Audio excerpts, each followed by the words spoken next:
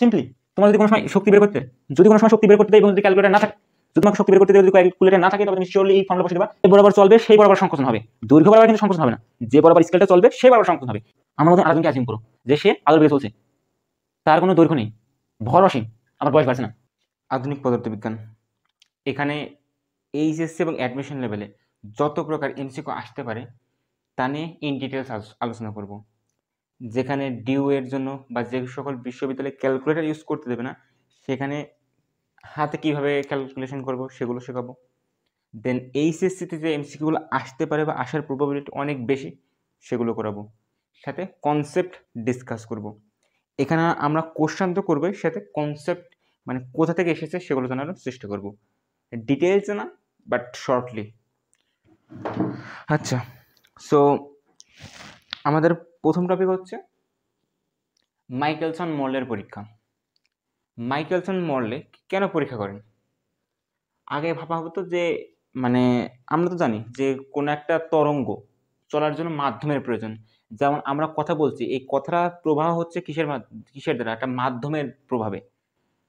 Similarly তখন ভাবা হতো যে, এই যে আলো সূর্য থেকে আসছে, সেটা আসার জন্য মহাবিশ্বের মধ্যে ইথার নামক একটা পদার্থ আছে। যেটা আমরা ল্যাবরেটরিতে তৈরি করতে পারব না। ওই সেই জিনিসের ভিতর দিয়ে আলো আসে। যখন মাইকেলসন এবং মর্লে এই পরীক্ষাটা করেন, তখন তারা প্রমাণ করেন যে ইথার নামক কোনো পদার্থ নাই। ইথার নামক কোনো পদার্থ নেই। সো মাইকেলসন মর্লের পরীক্ষা দ্বারা আমরা কি পাই? আমরা জানতে পারি যে ইথার নামক কোনো পদার্থ নাই। কারণ এর কারণ ওখানে একটা পরীক্ষা আছে। আমাদের জানার দরকার নেই। এমসিকিউর জন্য। এবং রিটেনের জন্য জানার প্রয়োজন নেই। হ্যাঁ। বোঝার জন্য দরকার আছে। তাছাড়া আমরা আমরা তো এতটুকু জানি যে আলো হচ্ছে কি ইলেকট্রোম্যাগনেটিক ওয়েভ মানে তড়িৎ চৌম্বক তরঙ্গ।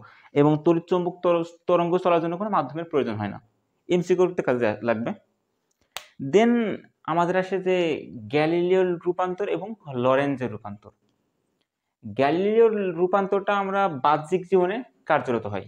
এটা আমরা বাহ্যিক জীবনে যেমন ফর্মুলাগুলো কাজে লাগে, সেভাবে কাজে লাগবে। কিন্তু যখন আমরা হাই স্পিডের কোনো বস্তু মানে যে স্পিডটা আলোর বেগের সাথে তুলনাযোগ্য, তাদের ক্ষেত্রে আমরা গ্যালিলিওর রূপান্তরটা কাজে লাগাতে পারব না। সো গ্যালিলিওর রূপান্তর আমাদের বাহ্যিক জীবনের জন্য ঠিক আছে। কিন্তু যখন আমাদের বেগটা অনেক বেশি হয়ে যাবে, তখন গ্যালিলিওর রূপান্তর কাজ করবে না। তখন আসবে আমাদের কার রূপান্তর? আমাদের আসবে লরেঞ্জের রূপান্তর। এবং লরেঞ্জের রূপান্তরে আমরা মানে জানতে পারব, এবং লরেঞ্জের রূপান্তর সব ক্ষেত্রে প্রযোজ্য। আলোর বেগের কাছাকাছি বেগের জন্য প্রযোজ্য, আবার আমাদের বাহ্যিক জীবনের জন্য প্রযোজ্য। এবং এখান থেকে আমরা পাই কি? কাল দীর্ঘায়ন, ভর বৃদ্ধি, দৈর্ঘ্য সংকোচন, এই তিনটা তথ্য আমরা পাই। স্পেশাল থিওরি অফ রিলেটিভিটির ফল বা লরেঞ্জ রূপান্তর এখানে কার্যকর ভূমিকা রাখে। এখন বলতে পারো যে ভাই, পড়ব কি? আমরা পড়ব হচ্ছে আইনস্টাইনের যে, আইনস্টাইন যে রিলেটিভিটির তত্ত্ব দেন, সেটাকে দুই ভাগে ভাগ করেন। দুই ভাগে ভাগ করেন বলতে, আইনস্টাইন আমরা তো মেইনলি জানি যে আপেক্ষিক মানে আপেক্ষিক তত্ত্ব হিসেবে আমরা জানি বিশেষ আপেক্ষিক তত্ত্ব। কিন্তু আপেক্ষিক তত্ত্বকে দুই ভাগে ভাগ করা হয়। এক হচ্ছে স্পেশাল থিওরি অফ রিলেটিভিটি আর একটা হচ্ছে general theory of relativity special theory of রিলেটিভিটিকে আমরা পড়ালেখা করব এবং জেনারেল থিওরি অফ রিলেটিভিটিকে আমরা হায়ার স্টাডির জন্য রেখে দেবো। এবং স্পেশাল থিওরি অফ রিলেটিভিটি এর প্রথম স্বীকার্য কি? এখানে দুইটা স্বীকার্য দেন। আইনস্টাইন দুইটা স্বীকার্য দেন একটা স্বীকার্য কি? আমরা যতগুলো সূত্র পড়েছি, যতগুলো সূত্র পড়েছি, সবগুলো জড় প্রসঙ্গ কাঠামোর মানে সকল জড় প্রসঙ্গ কাঠামোর জন্য প্রযোজ্য। যদি মনে করো একটা কাঠামো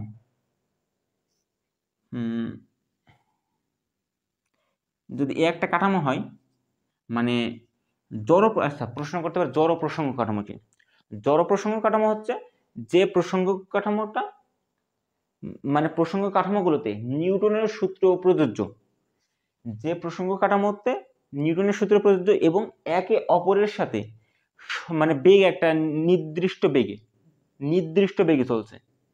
বেগের পরিবর্তন হচ্ছে না। সেটা হচ্ছে জড় প্রসঙ্গ কাঠামো। আর অজড় প্রসঙ্গ কাঠামো কি? যেখানে নিউটনের সূত্র প্রযোজ্য নয় এবং একে অপরের সাথে সমবেগে চলছে না। সেখানে সেটা কি প্রসঙ্গ? অজড় প্রসঙ্গ কাঠামো। তাহলে আইনস্টাইন কি বলে? আইনস্টাইন বলে হচ্ছে যে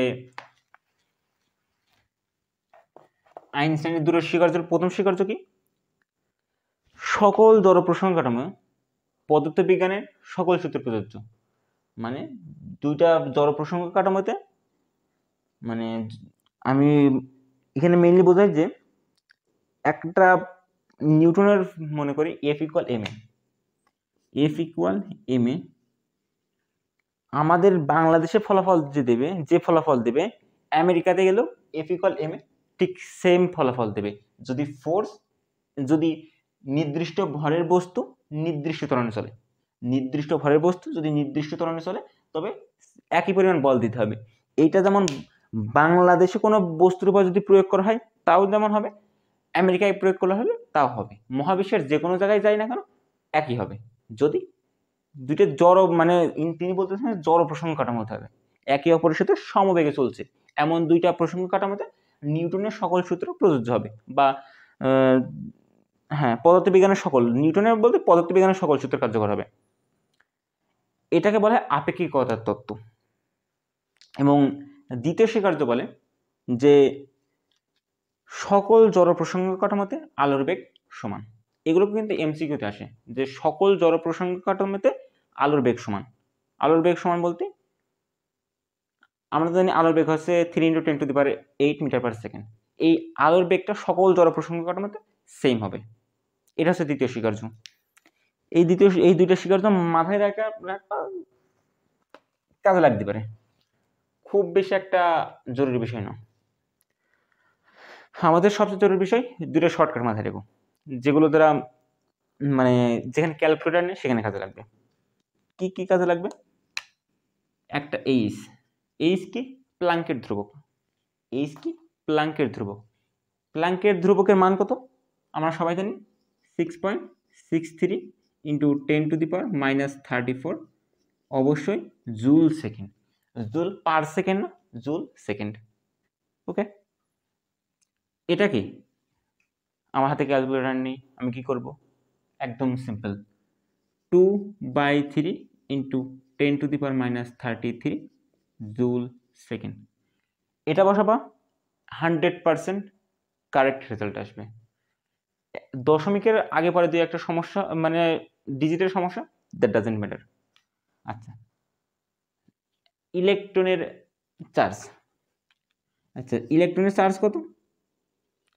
ইলেকট্রনিক চার্জ কত? ইলেকট্রনিক চার্জ কত? One point six into ten to the power minus nineteen coulomb. এটাকে আমরা কত লিখতে পারি? এটাকে লিখতে পারি আমরা ওয়ান বাই সিক্স গুণিত ten to the power minus eighteen coulomb একদম সিম্পল এখানে ওয়ান পয়েন্ট সিক্স আছে, এটা ওয়ান বাই সিক্স দিয়ে দেবো। এটা হবে কি? ইলেকট্রনের চার্জ এই দুইটা ফর্মুলা মাথায় ক্লিয়ার থাকতে হবে। আর একটা জিনিস। ওয়ান ইলেকট্রোভোল্ট ওয়ান ইলেকট্রোভোল্ট সমান কত? One point six six into ten মানে এখানে সিক্স সিক্স দিতে পারো। One point six six into ten to the power minus nineteen joule যদি কোনো প্রশ্নে, যদি বলে টেন ইলেকট্রোভোল্ট যদি বলে টেন ইলেকট্রোভোল্ট আচ্ছা এটা কিসের একক? এটা হচ্ছে শক্তির একক। কিসের একক? শক্তির একক। শক্তির একক। যদি টেন ইলেকট্রন ভোল্ট ইলেকট্রোভোল্ট বলে, তাহলে কী করবা? টেন গুণিত ওয়ান পয়েন্ট সিক্স সিক্স গুণিত ten to the power minus nineteen coulomb আর এটাকে আমি কত লিখতে পারি? ওয়ান বাই সিক্স লিখতে পারি। আর এখানে যখন আমি ওয়ান পয়েন্ট সিক্স লিখব তখন আমি কিন্তু এখানে নাইনটিন দেবো না, তখন আমি এইটিন দেবো। কেন দেবা? তুমি ক্যালকুলেটারে একটু বসে থাকো, বুঝতে পারবা। এতটুকু বেসিক্স থাকলেই হবে। এতটুকু বিষয় জানলেই থাকতে হবে। আমরা ভর সংকোচন, দৈর্ঘ্য সংকোচন, এগুলোর ইজিলি শর্টকাটে করা যায়, সেগুলো দেখব। বাট আগে দৈর্ঘ্য কি বলে, সময় বা কাল দীর্ঘায়ন বা টাইম ডাইলেশন কাল দীর্ঘায়ন আলোচনা করব। কাল কাল দীর্ঘায়ন। কাল দীর্ঘায়ন কি? মানে এটা নিয়ে আমার আমার নিজের অনেক প্রবলেম আছে। মানে প্রবলেম বলতে আমার চিন্তা করতে করতে এমন জায়গায় ফেসে যায় যার উত্তর আমি কারও কাছ থেকে পাই না। দ্যাটস ওয়াই আমার একটু প্রবলেম আছে হাই লেভেলে তোমাদের দরকার নেই। এখানে কাল দীর্ঘায়নের মেন বিষয়টা হচ্ছে যে মানে একজনের সাপেক্ষে, আমার সাপেক্ষে যদি কোনো একটা রকেট আলোর বেগের কাছাকাছি কোনো একটা বেগে যায়, তাহলে আমার কাছে কোনো একটা ঘটনা, কোনো একটা ঘটনা আমার কাছে মানে এ একটা কলম পড়তে যত সময় লাগবে, ধরো, অত প্যারার দরকার নেই। সিম্পলি বোঝো যে যে জিনিসটা গতিশীল, তার সময় কমে যাবে। তার সময় কমে যাবে। অর্থাৎ তার সময় কমে যাবে বলতে কি?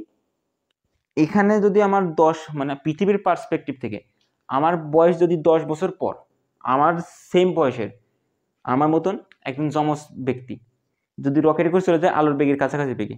এবং আমি যদি এখানে থাকি, এবং পৃথিবীর সাপেক্ষে যদি দশ বছর পরে সে চলে আসে, পৃথিবীর সাপেক্ষে যদি সে দশ বছর পরে আসে, তাহলে তার বয়স কমে যাবে। তার বয়স কমে যাবে। আমার বয়স দশ বছর থাকবে, কিন্তু তার বয়স দশ বছরের কম হবে। কত বছর হবে? সেটা আলোর কত বেগে যাচ্ছে, তার উপর ডিপেন্ড করে। ক্লিয়ার কি বলতে চাচ্ছি?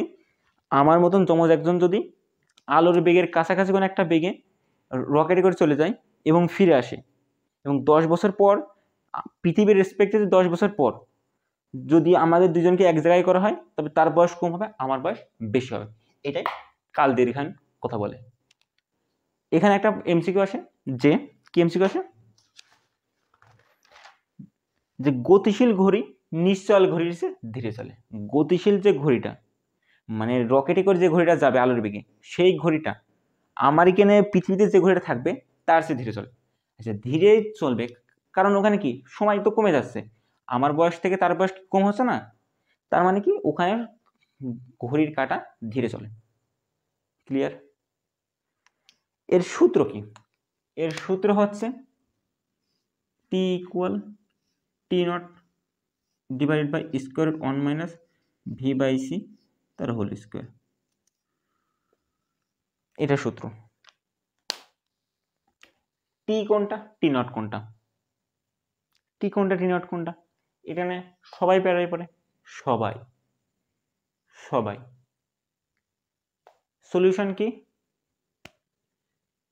টি নট হবে। যে আলোর বেগে যাবে। যে আলোর বেগে যাবে। তাহলে হবে কি? যে আলোর বেগে যাবে। আলোর বেগে যাবে বা আলোর কাছাকাছি বেগে যাবে। আলোর কাছাকাছি।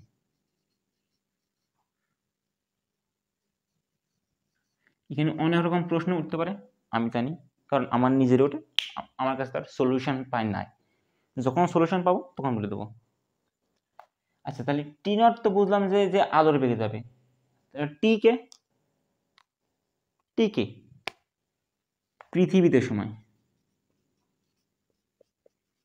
পৃথিবীর সময়। এবং এই যে square one minus V by C square এর মান অলওয়েজ ওয়ান অপেক্ষা ছোট হবে। কেন ছোট হবে? দেখো।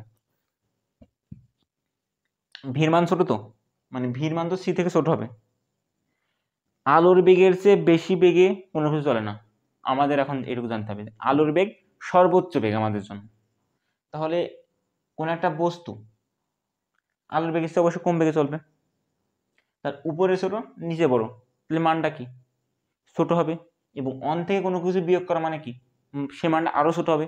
তার রুট করলে কি? আরও ছোট হবে। তাহলে কোনো একটা বড় মানকে কোনো একটা মানকে যদি দশমিক যুক্ত কোনো মান দ্বারা ভাগ করা হয়, তবে মানটা বড় হয়ে যায়। কোনো একটা মানকে দশমিক যুক্ত মান দ্বারা ভাগ করলে মানটা বড় হয়ে যায়। আমাদের থিওরি অনুযায়ী কি? যে টি নটটা মানে যে রকেটে যাচ্ছে তার বয়সটা কম হবে। তাহলে এই বয়সটা যদি কম হয় এটা যদি নিচেই যদি দশমিক থাকে তাহলে অবশ্যই এর ভাগ এর যে ভাগফলটা সেটা বেশি হবে। অবশ্যই বেশি হবে। যদি টু বাই দশমিক ওয়ান থাকে তাহলে এটা কত হবে? এটা বিশ হবে। ক্যালকুলেটারে করে দেখো। তাহলে এখানে মনে করো এখানে বয়স যদি দুই হয়, তাহলে এখানে বয়স কত হবে? এখানে বয়স কিন্তু বিশ হবে। তো আমাদের হিসেবে কি বলে? পৃথিবীর সময় বেশি হবে। আর যে আলোর বেগের কাছাকাছি বেগে যাচ্ছে, তার বয়স কম হবে, তার সময় কম হবে। সো এইভাবে মাথায় রাখতে পারো। সো এখানে কি? T always greater than T nought ঠিক আছে? এখান থেকে প্রশ্ন কেমন আসে? পরে দেখছি। আরও কিছু শর্ত আছে যেগুলো পরে দেখছি। কাল দীর্ঘানের পরে আসে হচ্ছে ভর বৃদ্ধি। কি বৃদ্ধি? ভর বৃদ্ধি এবং দৈর্ঘ্য সংকোচন। এর ম্যাথমেটিক্যাল প্রবলেম দেখছি। আগে এর থিওরিটিক যাক এরা কার ফলাফল? এর হচ্ছে লরেন্স ট্রান্সফরমেশন বা লরেন্সের রূপান্তরের ফলাফল হচ্ছে এরা। এখানে আমরা করব কি? ভর বৃদ্ধি। ভর বৃদ্ধি। কত শুনলে বোঝা যাচ্ছে ভর বৃদ্ধি পাবে। কোথাকার ভর বৃদ্ধি পাবে? যে ভরটা ওই ঘুরতে ঘুরতে ঘুরতে ঘুরতে রকেটে করে ঘুরতে যাবে। যে ভরটা রকেটে করে ঘুরতে যাবে, তার ভর বেশি হবে। অর্থাৎ M nought by square root one minus V by C দিয়ে হোল স্কোয়ার। সময় বাদে, সময়, দেখো T T nought M nought and L nought এই তিনটার মধ্যে শুধু এটা একটু এক্সেপশন এটা কোথাকার? এটা হবে, এটা কোথাকার? কি পড়লাম? কি? এটা হচ্ছে রকেটের রকেটের টাইম। মানে রকেটের রকেটের ভিতর যে বেগ থাকবে তার টাইম, যে আলোর বেগে চলবে, তার টাইম। কিন্তু যখন এই এম নট আর এল নট আসবে, এই দুইটা দ্বারা বোঝাবে পৃথিবীতে পরিমাপ করা। পরিমাপ করা। পৃথিবীতে পরিমাপ করা। আচ্ছা এটা কি? ভর বৃদ্ধি। ভর বৃদ্ধি। এখানে এম নট কি?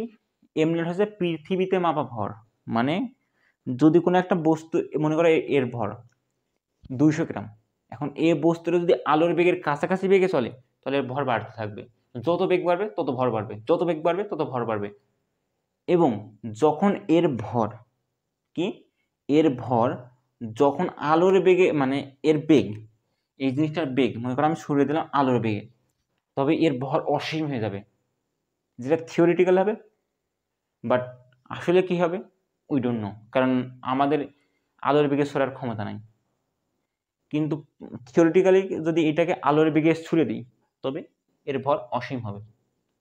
সো এই ফর্মুলাটা মাথায় রেখো। এটা কোথাকার মাপ? এটা হচ্ছে রকেটে মাপ। রকেটে মাপ। আর এটা হচ্ছে পৃথিবীতে মাপ।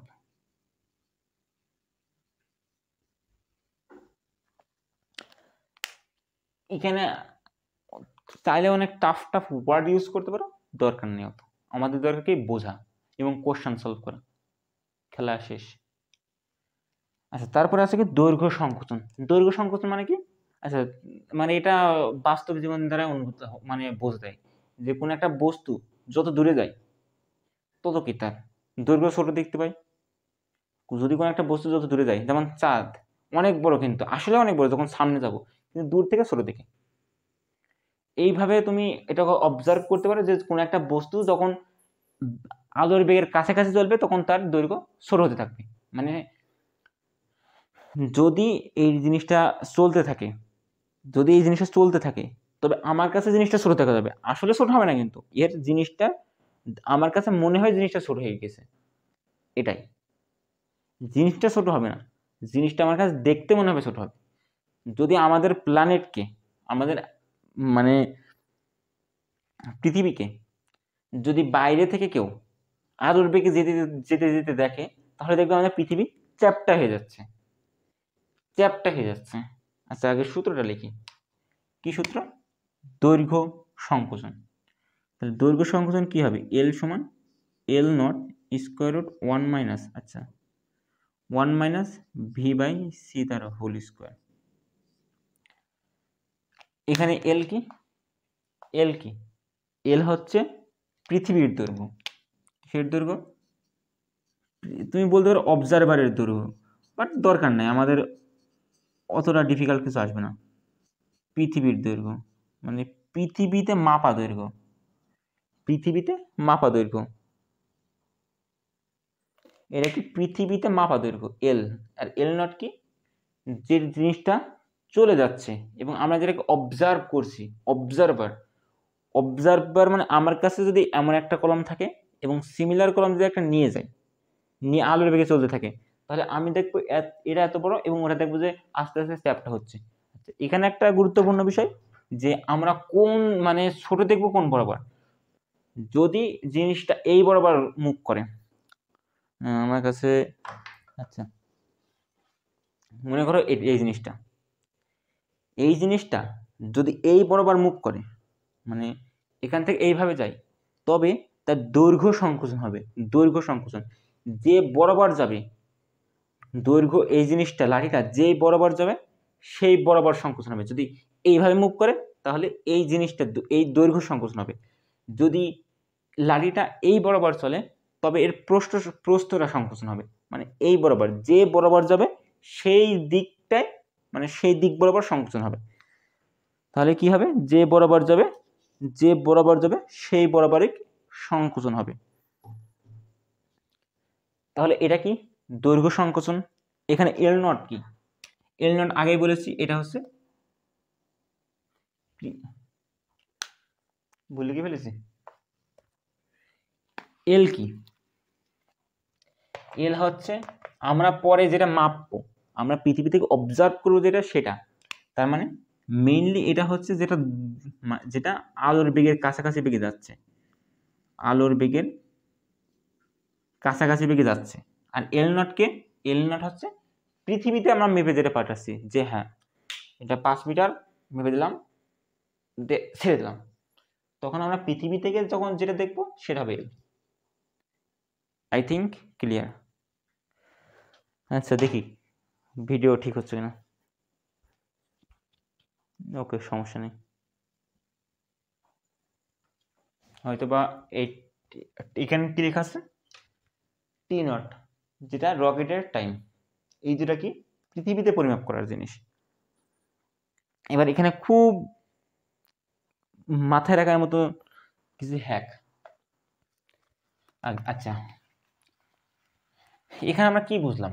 যে সময়, দৈর্ঘ্য, এরা কি কোনো কিছু পরম বিষয় নাকি আপেক্ষিক বিষয়? এরা সব কিছু আপেক্ষিক বিষয়। ভর, কাল, এরা কি আপেক্ষিক বিষয় না? তাই চিরায়ত পদার্থবিজ্ঞান। চিরায়ত পদার্থবিজ্ঞান মানে কোন পদার্থবিজ্ঞান? ওই নিউটনের সময় যেসব চলতো, তখনকার পদার্থবিজ্ঞানকে বলা হয় চিরায়ত পদার্থবিজ্ঞান। এই চিরায়ত পদার্থবিজ্ঞানে চিরায়ত পদার্থবিজ্ঞানে স্থান, কাল, ভর, ধ্রুব থাকে। এমসিকিউ আসে কিন্তু। স্থান, কাল, ভর, ধ্রুব থাকে। ধ্রুব থাকে মানে কি? যার মানে চেঞ্জ হয় না। এটা কখন হয় না? যখন চিরায়ত বল বিজ্ঞান মানে আমরা, আমাদের বাস্তব জীবনে সংগঠিত, আলোর বেগের কাছাকাছি নয়, বরং আমাদের আমাদের মানে দ্বারা যতদূর সম্ভব সেই বেগে চলমান বস্তুর ক্ষেত্রে প্রযোজ্য চিরায়ত পদার্থবিজ্ঞান। এবং চিরায়ত পদার্থবিজ্ঞানের ক্ষেত্রে ভর, স্থান এবং কাল, ভর, স্থান, কাল, ভর, স্থান, কাল, ধ্রুব মানে এদের কোনো পরিবর্তন হয় না। কিন্তু এখন আমরা আইনস্টাইনের স্পেশাল থিওরি অফ রিলেটিভিটির তত্ত্ব থেকে কী জানলাম? যে এগুলো চেঞ্জেবল এগুলো পরিবর্তনশীল, এগুলো ফিক্সড না। কখন ফিক্সড না? যদি সেটা আলোর বেগে চলে, যেটা যদি সেটা আছে আমরা আলোর বেগে অবজার্ভ করে থাকি, তবে আই থিঙ্ক ক্লিয়ার সো আমাদের তিনটা ফর্মুলা কি?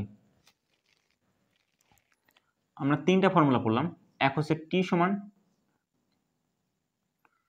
টি সমান T nought divide by square one minus V by C তার হোল স্কোয়ার এম সমান M nought square root one minus V by C দিয়ে তার হোল স্কোয়ার অ্যান্ড এল সমান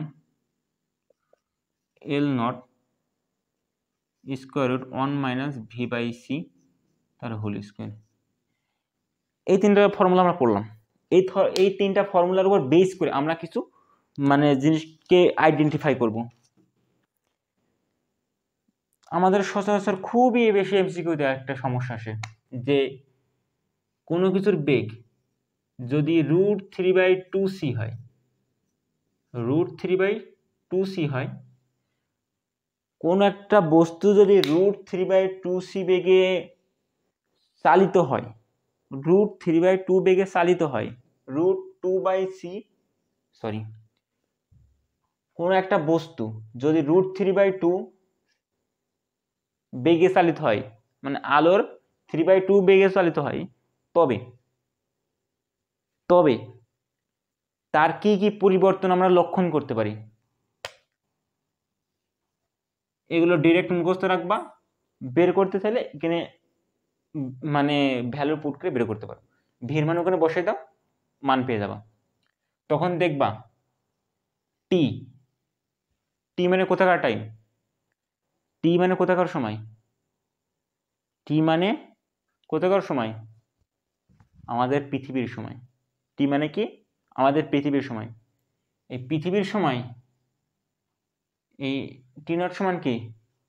যেটা চলছে, সেটার সময়। এই টি নট হবে টি বাই টু মানে আমার মতন জমজ আর একজন সেম ক্যারেক্টারিস্টিক্সের আমরা দুজন আছি, একজন যদি root three by two C বেগে চলে যায় root three by two C বেগে চলে যায় এবং পৃথিবীতে যদি আমি দশ বছর কাটাই মানে আমার বয়স যদি দশ বছর পারে, তাহলে ও এসে দেখবে যে তার বয়স পাঁচ বছর বেড়েছে। তার বয়স পাঁচ বছর বেড়েছে। কেন? আমার, আমরা যে টাইমটা কাটাচ্ছি, সেই টাইমটা অর্ধেক হয়ে যাবে তার ওখানে। আমার এখানে দশ বছর হলে, ওর ওখানে পাঁচ বছর হবে। আমার এখানে বিশ বছর হলে, ওর ওখানে দশ বছর হবে। সো টাইমের অর্ধেক হয়ে যাবে। যে রকেটে চলছে, সে যদি এই বেগে চলে, তাহলে তার বয়সটা root three by two C বেগে চলে তার বয়সটা আমার অর্ধেক হয়ে যাবে। ক্লিয়ার আচ্ছা যদি এবার ভরের কথা বলি। ভর কি? বৃদ্ধি পাবে কোথাকার ভর বৃদ্ধি পাবে যেটা গতিশীল ভর, সেটা বৃদ্ধি পাবে। আর গতিশীল ভর কোনটা? এম বৃদ্ধি পাবে। এম বৃদ্ধি পাবে কি? টু এম নট অর্থাৎ পৃথিবীতে পৃথিবীতে ভরটা আমরা মেপে দেবো। মেপ মানে পৃথিবীতে এই ডাস্টার ধরলাম এই ক্যালকুলেটারটার ভর। যেটা মেপে পাঠাবো সেই ভরটা দ্বিগুণ হয়ে যাবে। কি হবে? যে ভরটা মেপে পাঠাবো, যদি root three by two C বেগে চলে এই ক্যালকুলেটারটা তাহলে এর ভর দ্বিগুণ হয়ে যাবে। আচ্ছা তাহলে লেন্থ কি হবে? লেন্থ কি হবে? যেটা পৃথিবীতে মাপব। এটা কি? এটা কি? যেটা চলে যাচ্ছে, সে লেন্থটা কি লেন্থটা কি হবে? লেন্থ অবশ্যই সংকোচন হবে। কি পরিমাণ সংকোচন হবে? এল বাই টু পরিমাণ। এল নট বাই টু পরিমাণ। অর্থাৎ যে লেন্থের বস্তুকে আমি পৃথিবী থেকে পাঠাবো এল নট মাপের যে লেন্থের এল নট মাপের যে জিনিসটা পাঠাবো, সেটা অর্ধেক হয়ে যাবে। যখন আমরা সেটা আমাদের চোখ দ্বারা মাপবো। আচ্ছা এই রিলেটেড কিছু প্রবলেম দেখা যাক, যেগুলো সচরাচর খুবই আসে। যেমন কুয়েট কুয়েট বারো তেরো, একটা প্রশ্ন। কত বেগে চললে? একটি স্পেস শিপের আসল দৈর্ঘ্য। কি বলছে? কত বেগে চললে একটি স্পেস শিপের আসল দৈর্ঘ্যের অর্ধেক হবে? কত বেগে চললে একটি স্পেস শিপের দৈর্ঘ্য? কত বেগে চললে একটি স্পেস শিপের দৈর্ঘ্য? আসল দৈর্ঘ্যের অর্ধেক হবে root three by two C root three by two C যখনই এমন অর্ধেক টু অর্ধেক টাইপের কথাবার্তা আসবে, তখনই root three by two C তারপর দেখা যা দেখা যাবে। যেমন ঢাবি দেবার প্রশ্ন আসছিল। সিমিলার প্রশ্ন আসছিল। এই প্রশ্ন না, এই টাইম টাইম নিয়ে প্রশ্ন আসছিল। না, এবার না গতবার আসছিল। এবার না, গতবার। দেন আরও প্রশ্ন আছে।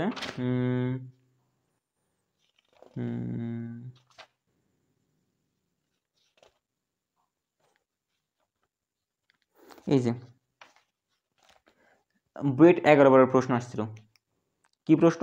যে একটি মহাশূন্য যানের কত দ্রুত, একটি মহাশূন্য যানের কত দ্রুত ভ্রমণ করলে মহাশূন্যে মানে মহাশূন্যে একটা মহাশূন্য যান যখন বাইরে চলবে মহাশূন্যে একদিন অতিবাহিত হলে পৃথিবীতে দুই দিন অতিবাহিত হবে। মহাশূন্যে যদি একদিন অতিবাহিত হয়, পৃথিবীতে দুই দিন অতিবাহিত হবে। মহাশূন্যে একদিন, পৃথিবীতে দুই দিন। এটা, এইটা তো, এটা তো। মহাশূন্যে একদিন, পৃথিবীতে দুই দিন। মহাশূন্যে একদিন, পৃথিবীতে দুই দিন। অর্থাৎ ওখানকার সমান অর্ধেক, সময় অর্ধেক কমে যাচ্ছে। তো অর্ধেক কমে গেলে root three by two C অঙ্ক শেষ। দেন এই যে শাস্ত্রের একটা খুব সুন্দর প্রশ্ন, যে বলছে যে দৈর্ঘ্য বরাবর দৈর্ঘ্য বরাবর গতিশীল একটি মিটার স্কেল। কি বরাবর? এটা দৈর্ঘ্য বরাবর গতিশীল। একটি মিটার স্কেলের ভর। এই মিটার স্কেলের যে ভর, সেটা স্থির ভরের দ্বিগুণ। আচ্ছা যদি কোনো একটা মিটার স্কেলের ভর, পৃথিবীতে মাপা ভর পৃথিবীতে মাপা ভর, এখানে কি বলছে? দৈর্ঘ্য বরাবর গতিশীল একটি মিটার স্কেলের ভর, স্থির ভরের দ্বিগুণ, স্থির ভরের দ্বিগুণ। এম এম এম নটের মান দ্বিগুণ হয়ে যাচ্ছে। এম এর মান দ্বিগুণ হয়ে যাচ্ছে এম নটের চেয়ে। তখন বলছে গতিশীল অবস্থায় এর আপেক্ষিক দৈর্ঘ্যের মান কত হবে? তার মানে এখান থেকে মানে দুটো সিদ্ধান্ত নিতে বলছে। যেটা বলছে, কি বলছে? ফার্স্ট ফার্স্ট বারো তেরো। বারো তেরো। যে একটা মিটার স্কেলের ভর, মিটার স্কেলের যে ভর সেটা দ্বিগুণ হচ্ছে যেটা পৃথিবী থেকে মেপে দিচ্ছে সেটা। এই সিদ্ধান্ত থেকে এখান থেকে আমি কী সিদ্ধান্ত নিতে পারি? যে root three by two C বেগে চলছে। আর যদি root three by two C বেগে চলে, তাহলে কি? লেন্থ অর্ধেক যাবে। লেন্থ কি? অর্ধেক হয়ে যাবে যদি আমরা মাপি, সেই লেন্থটা কি হবে? সেটা আদি দৈর্ঘ্যের অর্ধেক হয়ে যাবে। এল এর মান হবে L nought by two L nought কিসের মান? যেটা আমরা পৃথিবী থেকে মেপে দেবো। তাহলে পৃথিবীতে মাপছি কি? এটার দৈর্ঘ্য কত? এক মিটার। তাহলে যেটা এর যদি অর্ধেক যদি দৈর্ঘ্য হয়ে যায়, তাহলে সেটা কত হবে? Half metre. সো উত্তর হবে কত? Half metre. সো এর উত্তর কত হবে? শূন্য দশমিক পাঁচ মিটার। ওকে দেন যদি আরও একটু প্রবলেম দেখি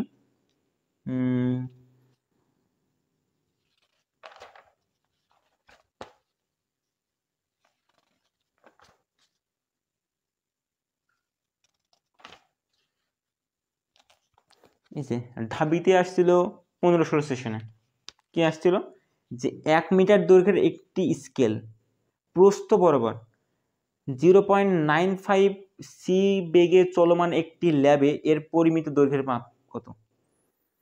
মানে বলছে যে এই যে এই স্কেলটা এই স্কেলটা নাইন পয়েন্ট ফাইভ সি বেগে যদি চলে, তাহলে দৈর্ঘ্যের কি পরিবর্তন হবে? আগেই বলেছি, যে বরাবর চলবে সেই বরাবর সংকোচন হবে। দৈর্ঘ্য বরাবর কিন্তু সংকোচন হবে না। যে বরাবর স্কেলটা চলবে সেই বরাবর সংকোচন হবে।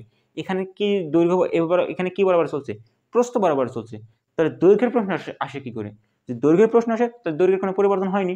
দৈর্ঘ্যের যদি এক মিটার স্কেল হয়, তাহলে এক মিটারই হবে। দেন নেক্সট প্রশ্ন যদি দেখি।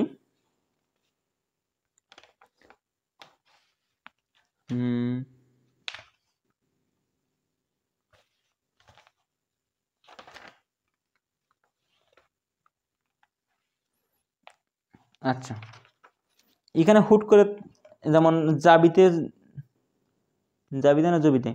জগন্নাথ বিশ্ববিদ্যালয় আসছিল যে এর কত শতাংশ এটাকে বলছে শতাংশে পরিণত করতে। মানে আলোর বেগের কত শতাংশ? এটা কত শতাংশ হবে? Eighty seven percent eighty seven percent of light of light অর্থাৎ যদি কোনো একটা বস্তু আলোর বেগে যদি সাতাশি পার্সেন্ট বেগে চলে যদি কোনো একটা বস্তু আলোর বেগের সাতাশি পার্সেন্ট বেগে চলে, আলোর বেগের সাতাশি পার্সেন্ট বেগে চলে, তাহলে তার এই এই পরিবর্তনগুলো আমরা দেখতে পাবো। তো তোমার প্রশ্নে এটাও দিয়ে দিতে পারে, এটাও দিয়ে দিতে পারে। আবার এর একটা ভ্যালু আছে, এই যে এটা যদি পরিমাপ করো, তাহলে হবে টু পয়েন্ট সিক্স গুণিত ten to the power eight metre per second so তোমাকে তিনটাই মাথায় রাখতে হবে, যে কি দিতে পারে উই ডোন্ট নো তারা বলতে পারে eighty seven percent of light অর্থাৎ টু পয়েন্ট অথবা two point six into ten to the power eight metre per second অথবা বলতে পারে root three by two C okay এখান থেকে মানে এই যে root three by two C এই রিলেটেড অসংখ্য প্রবলেম আছে। আমরা নেক্সট কেজে চলে যাই। সো কেজ অন গেল।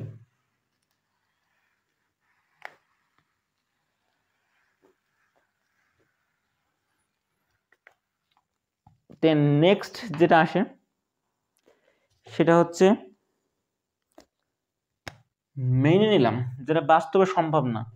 তারপরে মেনে নিলাম যে আলোর বেগ মানে কোনো একটা বস্তুর বেগ, কোনো একটা বস্তুর বেগ যদি আলোর বেগের সমান হয়, কোনো একটা বস্তুর বেগ যদি আলোর বেগের সমান হয়, তবে কি হবে? তবে তিনটা কেস করব, একটা লেন্থের জন্য, একটা টাইমের জন্য, আর একটা ভরের জন্য। আচ্ছা চিন্তা করো। তোমরা ওখানে কি করবা? সি এর মান বসাই দিবা। সি এর মান বসাই দিবা। সি এর মান কীভাবে বসাবা? এই যে ইকুয়েশন এই ইকুয়েশনের সি এর মান বসাই দিবা। বসাই দিয়ে বের করলে পেয়ে যাবা। আমি মনে করো, আমার মুখস্থ আছে, আমি বসাই দিচ্ছি আচ্ছা। যদি বস্তুটা আলোর বেগে চলে, তাহলে টি নট সমান শূন্য হবে। টি নট সমান শূন্য হবে। মাথায় রেখো, এই টি আর টি নট এই দুটো কিন্তু উল্টে পাল্টে দেবে। এম নট আর এল নটে কোনো সমস্যা করবে না, কিন্তু টি নট কিন্তু উল- উল্টো জিনিস বোঝায়। এম নট এল নট যেটা বোঝায় টি নট কিন্তু ডিফারেন্ট জিনিস বোঝায়। সো মাথায় রেখো। টি নট শূন্য হবে অর্থাৎ কোনো একটা বস্তু, মনে করো আমার জন্ম যদি কেউ হয়, সে যদি আলোর বেগে আমার আমার সাপেক্ষে যদি সে আলোর বেগে চলে, তাহলে তার বয়স বাড়বে না। হুইচ ইজ ক্রেজি মানে আমার বেগে, আমার জন্ম যদি কেউ থাকে এবং সে যদি আলোর বেগে চলার সামর্থ্য অর্জন করতে পারে চলার ক্ষমতা অর্জন করতে পারে, তবে তার বয়স বাড়বে না। সেম বয়সে থাকবে। ক্যান ইউ ইমাজিন এই থিওরিটা বলে স্পেশাল থিওরি অফ রিলেটিভিটি এটাই বলে, যদি কোনো একটা বস্তু আলোর বেগে চলতে পারে, তাহলে তার বয়স বাড়বে না। খেলা শেষ। আচ্ছা তাহলে ভর কি হবে? আমরা জানি ভর বাড়বে। যদি কোনো একটা গতিশীল বস্তুর কি হবে? ভর বাড়বে। যদি গতিশীল বস্তু চলতে থাকে, তাহলে তার কি ভর বাড়বে? আচ্ছা ভর বাড়বে। আলোর বেগে যদি সমান হয়, তখন কি হবে? তখন ভরটা অসীম হয়ে যাবে। কি হয়ে যাবে? অসীম হয়ে যাবে। মানে ভাবতে পারছ? যদি কোনো একটা বস্তু ছেড়ে দিই, আস্তে আস্তে যেতে যেতে মানে যদি আলোর বেগে পৌঁছাতে পারে, তখন তার ভর অসীম হয়ে যাবে। আমরা তো জানি না কিন্তু, অসীমের মান কত? উই ডোন্ট নো যদি এমন কোনো কিছু যেতে পারে, তাহলে whatever we don't know but this is crazy that যে কোনো একটা বস্তু যদি আলোর বেগে চলতে পারে, তাহলে তার কী হবে? ভর অসীম হয়ে যাবে। আচ্ছা তাহলে লেন্থ কী হবে? লেন্থ তো সংকোচন হয়। লেন্থ মানে মানে দৈর্ঘ্য তো সংকোচন হয়। তাহলে দৈর্ঘ্য সংকোচন হতে হতে কোথায় আসতে পারে? জিরো হতে পারে। তাহলে কোনো একটা বস্তু মানে চিন্তা করো।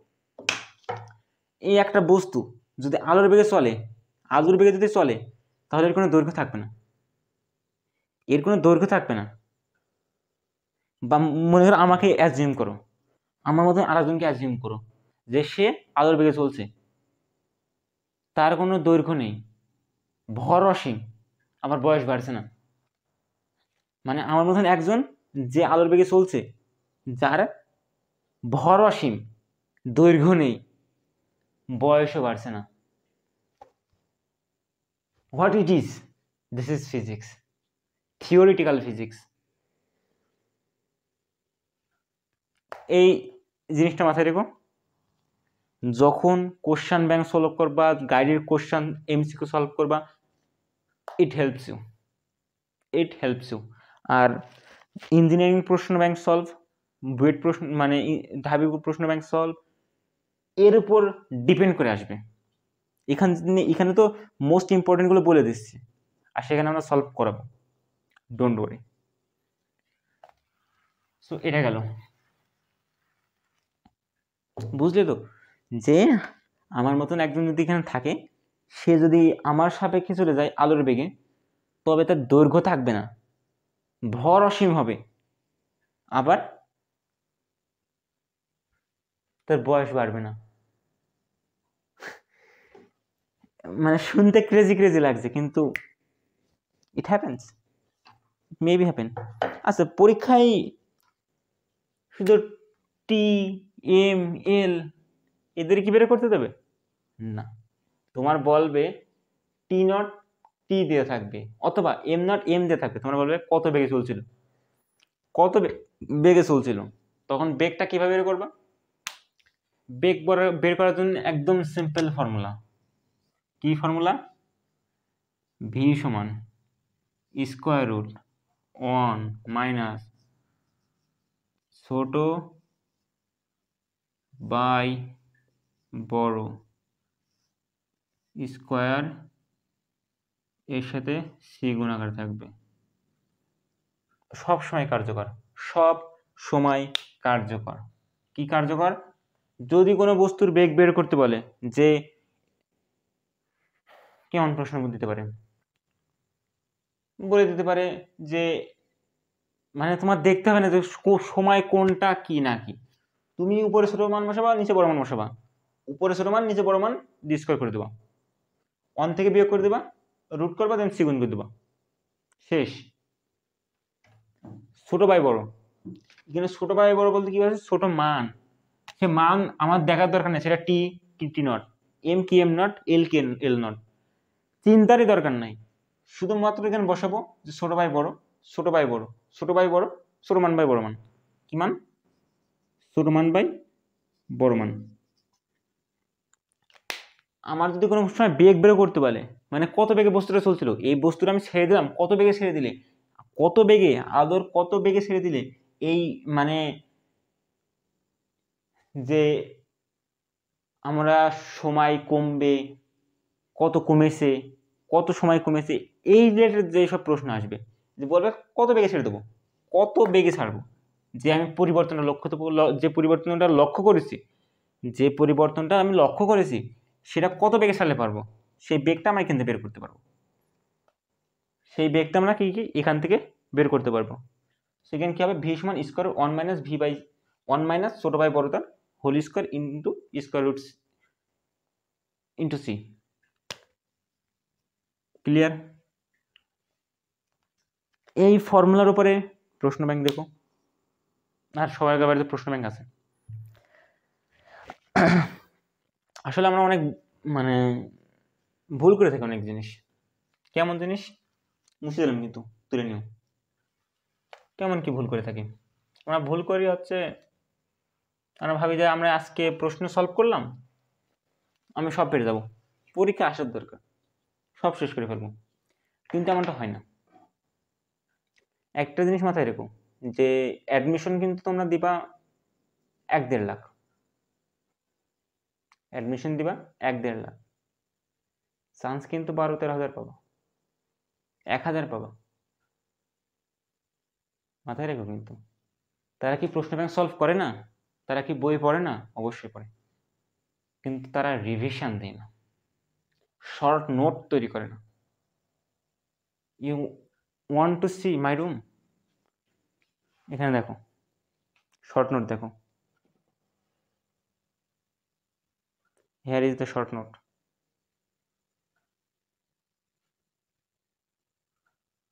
here is the short note. আরও দেখবা।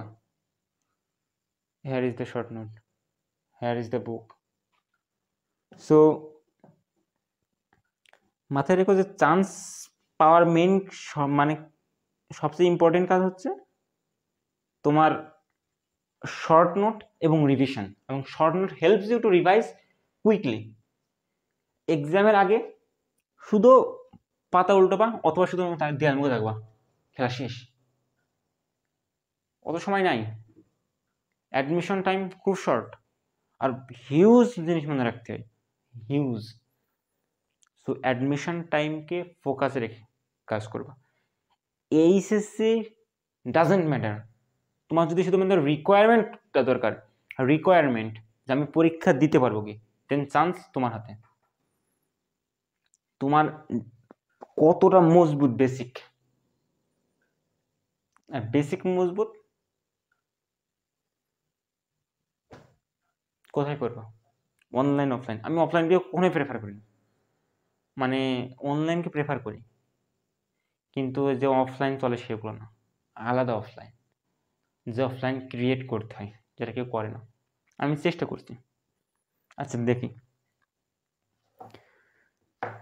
আইনস্টাইনের আরও একটা বড় সাফল্য ছিল কি?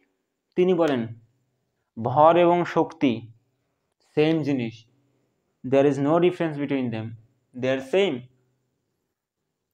ফলে সে কি দেন? একটা ফর্মুলা দেন। ভর শক্তির formula equal MC square equal MC square equal MC square কে দেন? আইনস্টাইন দেন। তিনি বলেন, ভর এবং শক্তির মধ্যে কোনো পার্থক্য নেই। ভরকে শক্তিতে এবং শক্তিকে ভরে রূপান্তর করা সম্ভব। ই কি? This is the energy energy M কি? দিস ইজ ম্যাস অর্থাৎ ভর।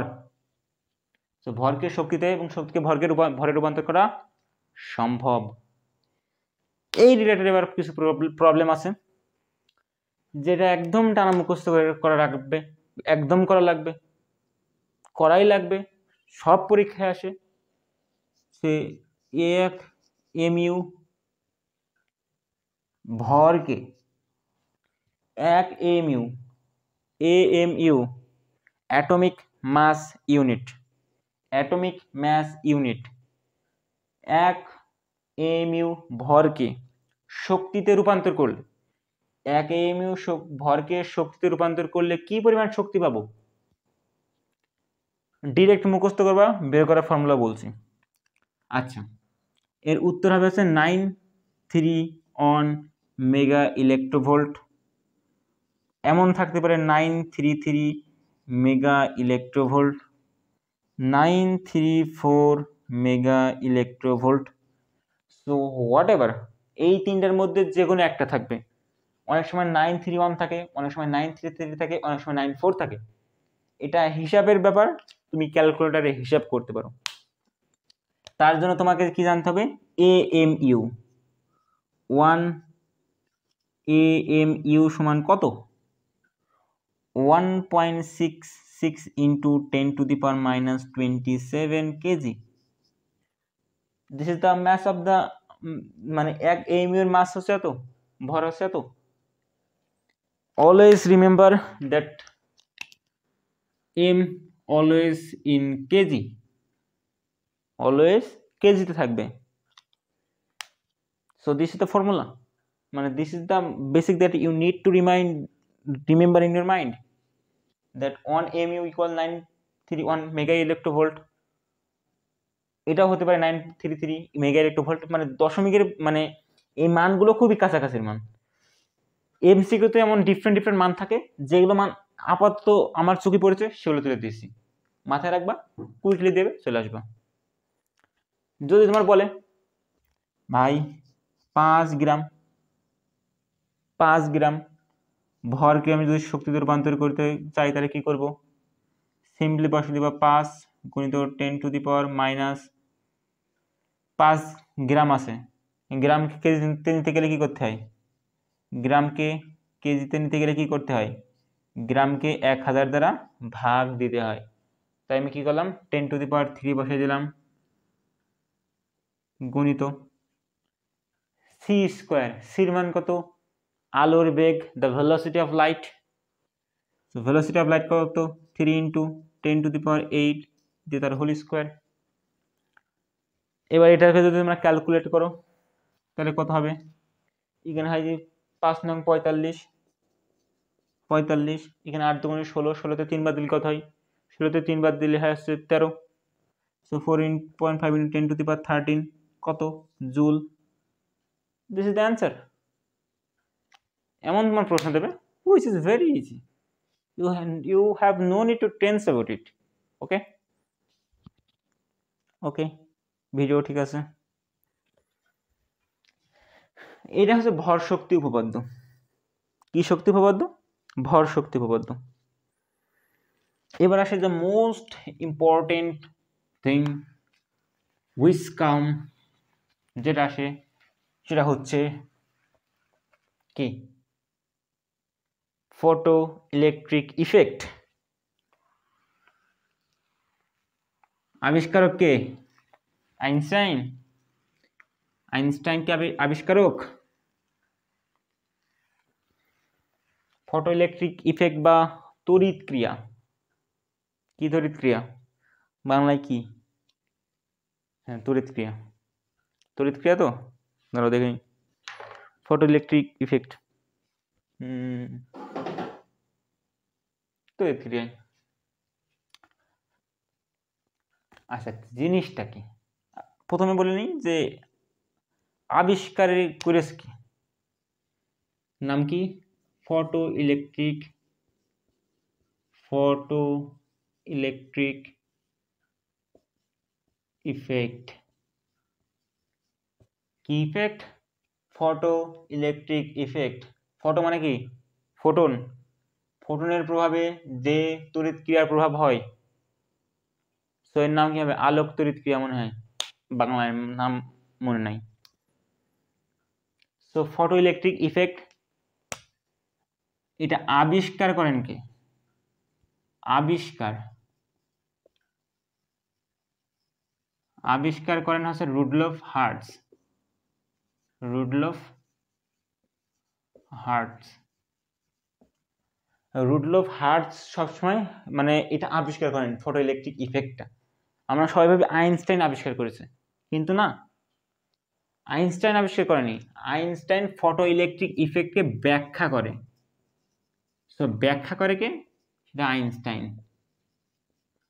আইনস্টাইন ফটো ইলেকট্রিক ইফেক্টে ব্যাখ্যা করে।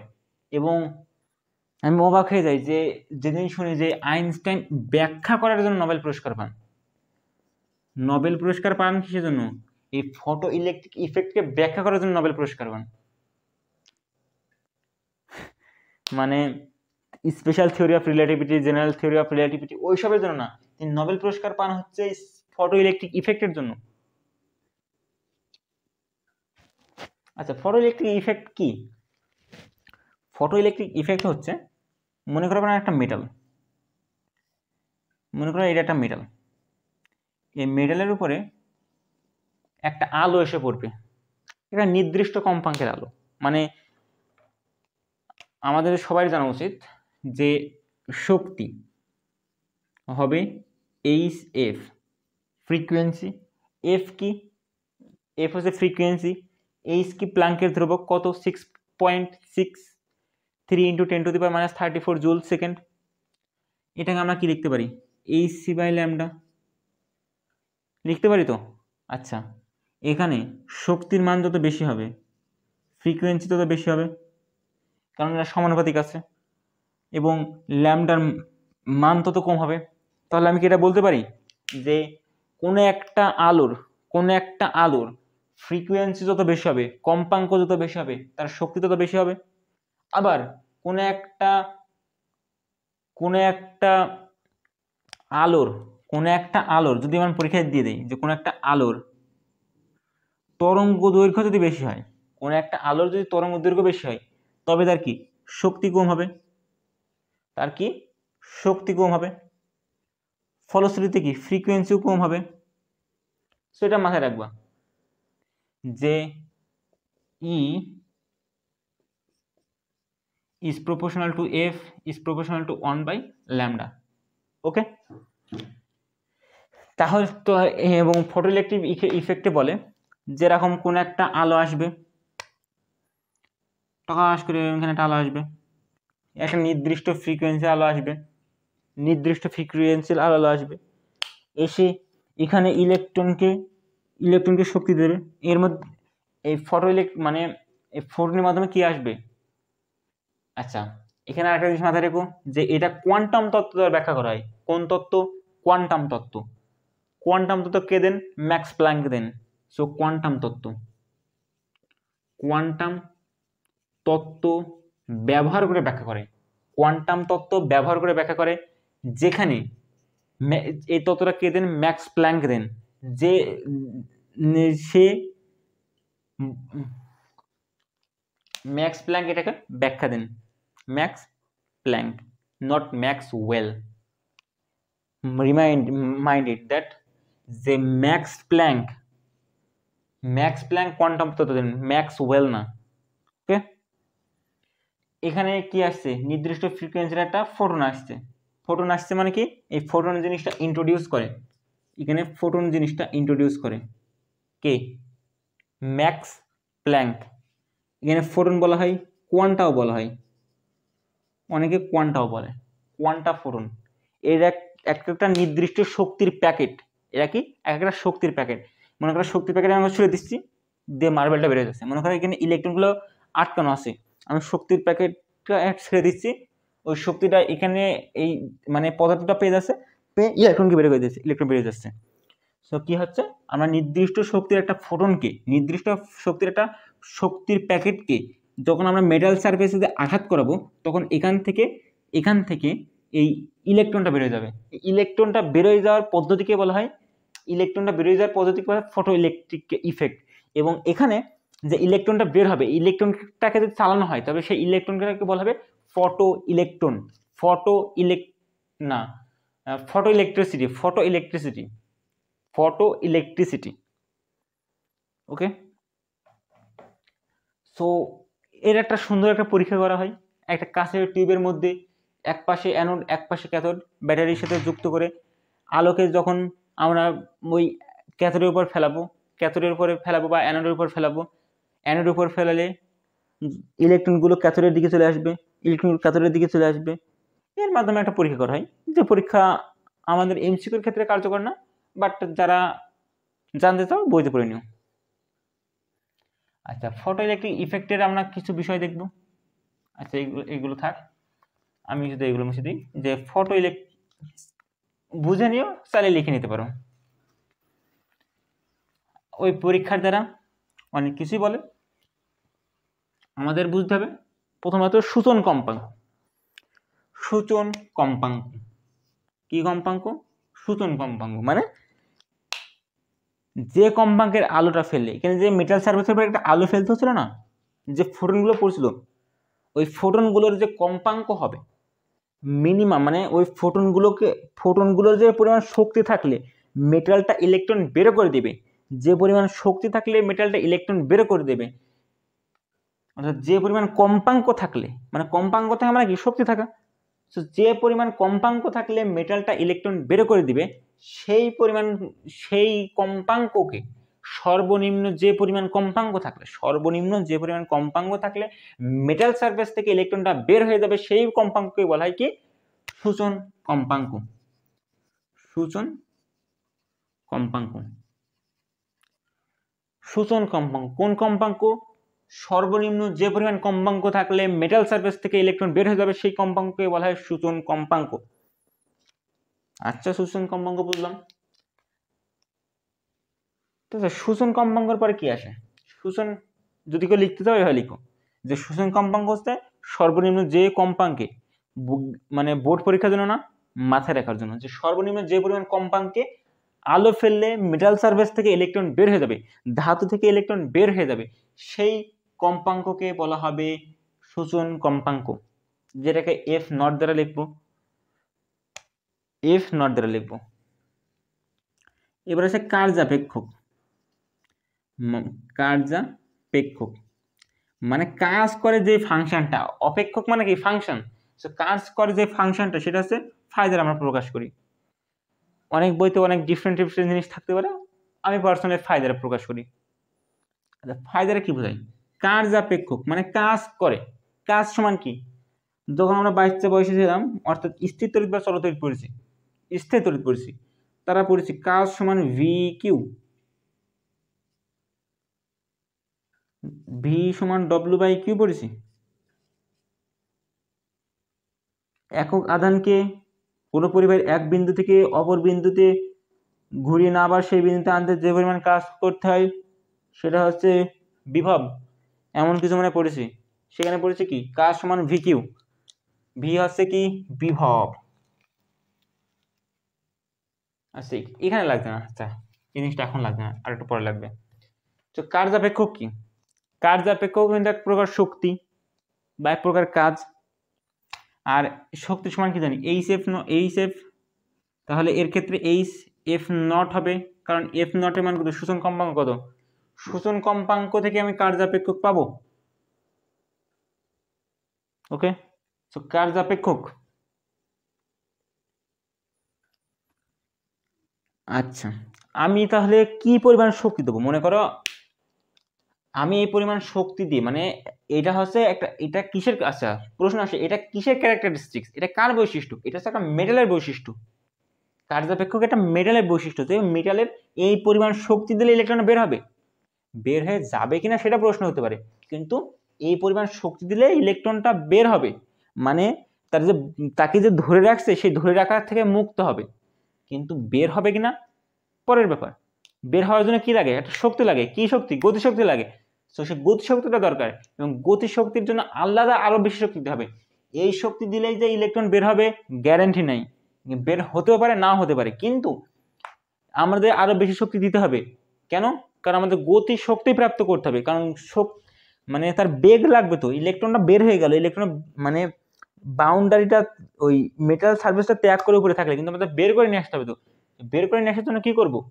বের করে নিয়ে আসার জন্য আমাদের কি আপতিত ফোটনের শক্তিকে এই পরিমাণ দিলে হবে? না আরও বেশি দিতে হবে। কি পরিমাণ বেশি দিতে হবে? ই কে পরিমাণ মানে কি? গতি শক্তির জন্য যত মানে সর্বোচ্চ গতি শক্তির জন্য যে পরিমাণ শক্তি প্রয়োজন। তাহলে যে ফোটনটা আসবে, যে ফোটনটা আসবে, অর্থাৎ আপতিত ফোটনের আপতিত ফোটনের শক্তি কি হবে? আপতিত ফোটনের শক্তি কি হবে? আপতিত ফোটনের শক্তি হবে E of photon E of photon সমান কি হবে?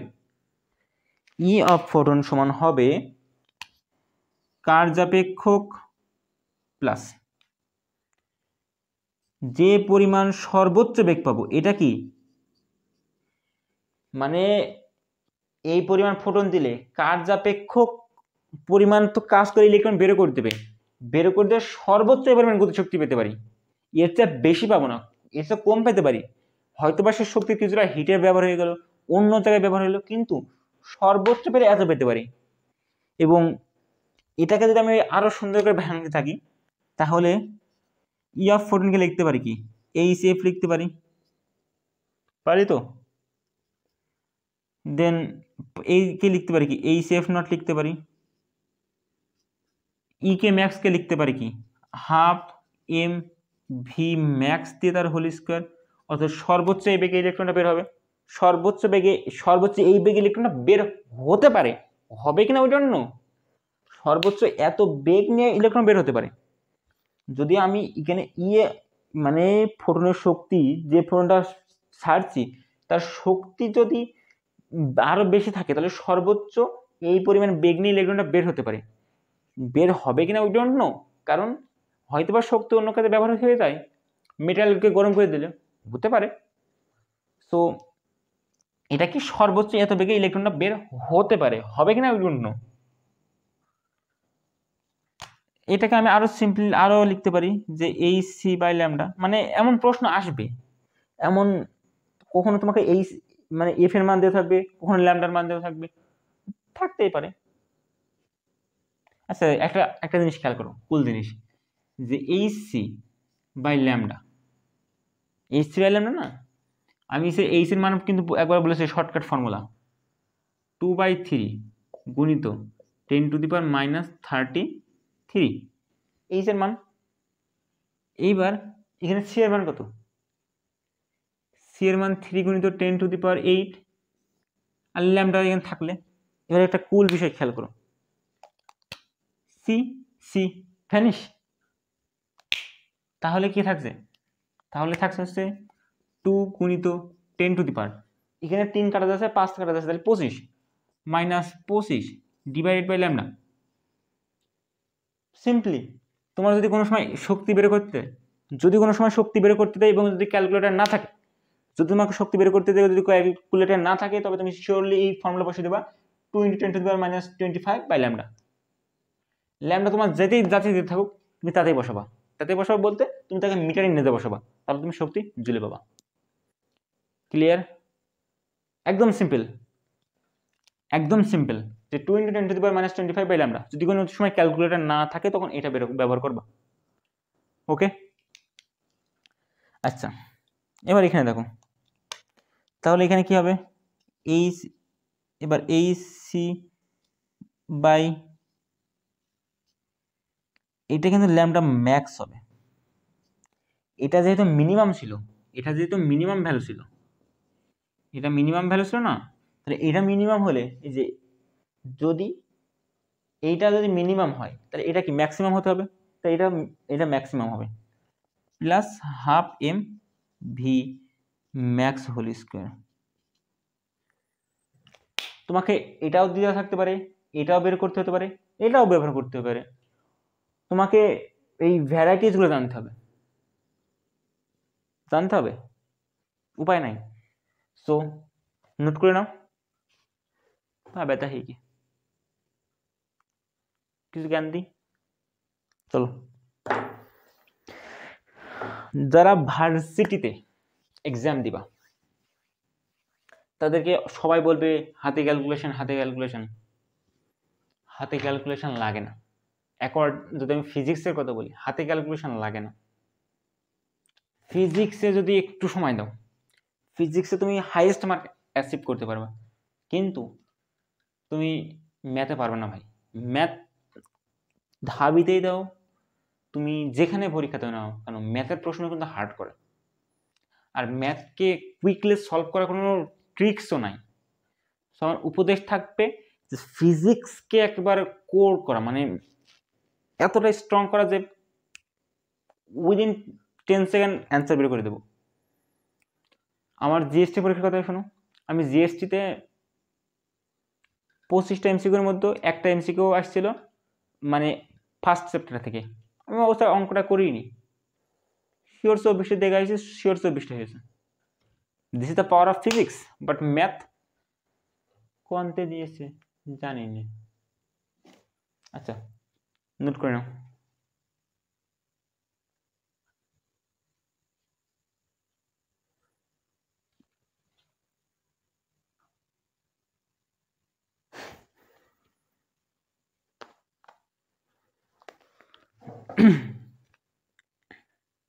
আমরা এখানে আরও একটা বিষয় করব। কি বিষয়? আর একটা বিষয় হচ্ছে নিবৃতি বিভব। বা স্টপিং পোটেনশিয়াল দিই এই জিনিসটা কিন্তু এমসিকিউর ক্ষেত্রে মাথায় রেখো। যদি ক্যালকুলেটার না থাকে, এটা ইউজ করলে কিছু দশমিকের আগে পরে সমস্যা হবে বাট ভেরি ইম্পর্টেন্ট থিং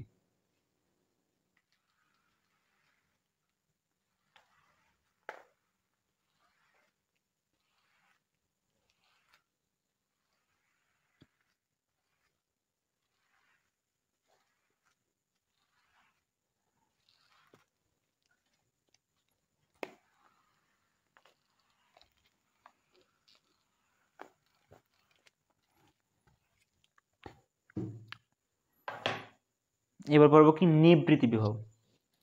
আচ্ছা আমি কি বলছিলাম? যে ডব্লিউ সমান কি? আমরা পড়েছি ডব্লিউ সমান V Q this is the potential and this is the charge R this is the work okay তাহলে, আর আমরা, আমি তোমাদেরকে ওদের নাম কি? কাজ অধ্যায় পড়াইছি, যে work energy theorem work energy theorem, যে দরকার নাই, ওইদিকে যাওয়ার দরকার নেই। বাদ দিই ডব্লিউ সমান ভিকিউ ডব্লিউ সমান ভিকিউ কাজ কি? শক্তি রূপান্তরের উপায়। কাজ কি? শক্তি রূপান্তরের উপায়। তাহলে আমি কি এখানে শক্তি সমান? না বেসিক থেকেই বোঝাই। তোমরা যখন বই পড়বা, আমাদের বইতে ক্লিয়ারলি বলা নাই, কিন্তু মনে করো যখন ওই যে ফটো ইলেকট্রনগুলো কাছের ভিতর দিয়ে আসে, তখন সেইটা যদি পজিটিভ টার্মিনালের উপর এসে পড়ে পজিটিভ প্লেটের উপর এসে পড়ে, তবে কিন্তু ইলেকট্রনগুলোকে যেতে দেবে না। ইলেকট্রনগুলোকে ধরে রাখবে। ইলেকট্রনগুলোকে ধরে রাখবে। এবং এই ধরে রাখার জন্য ইলেকট্রনগুলোকে সর্বোচ্চ মানে যে সর্বোচ্চ বেগে বের হয়ে যেতে যাবে ইলেকট্রনগুলো যে সর্বোচ্চ বেগে বের হয়ে যেতে হবে, ওই বের হওয়া থেকে বাঁচাতে মানে বের না করতে, সর্বোচ্চ যে পরিমাণ, সর্বোচ্চ যে পরিমাণ বিভবের প্রয়োজন, সেটা হয় নিবৃত্তি বিভব। মানে এই যে, মনে করো ক্যাথোডের, ক্যাথোড প্লেটের সরি ক্যাথোড বলছি কি পজিটিভ প্লেটের উপরে, যেটা হচ্ছে পজিটিভ চার্জ ওর উপর ইলেকট্রনটা যখন পড়বে ইলেকট্রনটা তো বের হতে যাবে এবং সর্বোচ্চ বেগে বের হতে যাবে এবং সর্বোচ্চ বেগে বের হওয়া থেকে বা মানে বাঁচানোর জন্য কি কেন পজিটিভ টার্মিনাল টানবে? অর্থাৎ যে পরিমাণ বিভব টানবে, ওই ইলেকট্রনকে বের হওয়া থেকে বাঁচাতে সেই বিভবকে বলা হয় নিবৃত্তি বিভব। এবং এই নিবৃত্তি বিভব হবে কি? তাহলে একটা ইলেকট্রন কী বেগে বের হয়? Half M V max V max বেগে বের হয়। এবং এ বেগটা কী হবে? এটা হবে ওই স্টপিং পোটেনশিয়াল এটা তোমাদের বইতে মানে আমি মেনলি কোন বই দেখলাম? হুম নাম দেখি। তপন স্যারের বই দেখলাম। তপন স্যারের বই দেখলাম এখানে? ভি নট দেওয়া। তুমি তাহলে ভি নটও দিতে পারো। আমি ভি এস দিই কারণ আমি ভি এস দ্বারা কী বোঝাই? এটা দ্বারা বোঝাই স্টপিং পোটেনশিয়াল স্টপিং পোটেনশিয়াল বা নিবৃত্তি বিভব। নিবৃত বিভব। Into electron into electron electron কি? ইলেকট্রনের চার্জ এদিকে ডব্লিউ সমান ভি কিউ পড়ছিলাম না? এই ডব্লিউ কি? কাজের রূপান্তরের উপায়। কাজের রূপান্তরের উপায় and this is V v vq v is the stopping potential and q is the here electron ইলেকট্রনকে ঠেকাতে হবে। So this is the charge of electron আর এটা হচ্ছে কিসের বেগ? এটা কিসের বেগ? এটা হচ্ছে ইলেকট্রনের বেগ। এটা কিসের বেগ? এটা হচ্ছে ইলেকট্রনের বেগ। তাহলে আমাদের পরীক্ষা করে, আমাদের পরীক্ষা কী করে? আমাদের একটা জিনিস বেরো করতে দেয়। কী জিনিস বেরো করতে দেয়? কী জিনিস বেরো করতে দেয়? আমাদের বেরো করতে দেয় ইলেকট্রনের বেগ নির্ণয় করো। কিসের বেগ নির্ণয় করো? ইলেকট্রনের বেগ নির্ণয় করো।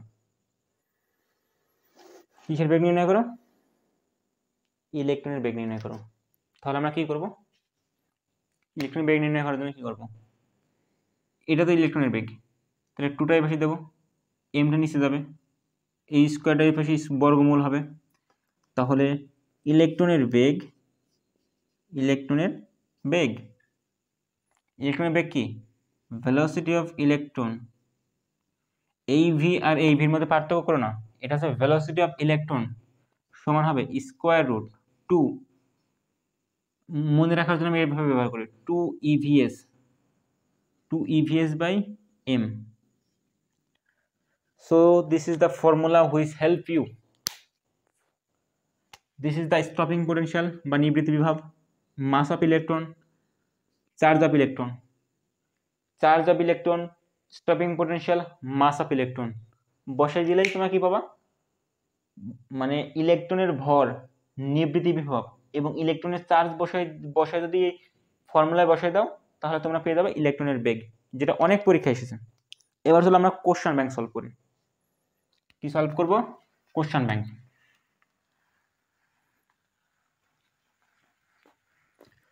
কোশ্চান ব্যাংকে কি বলছে? হুম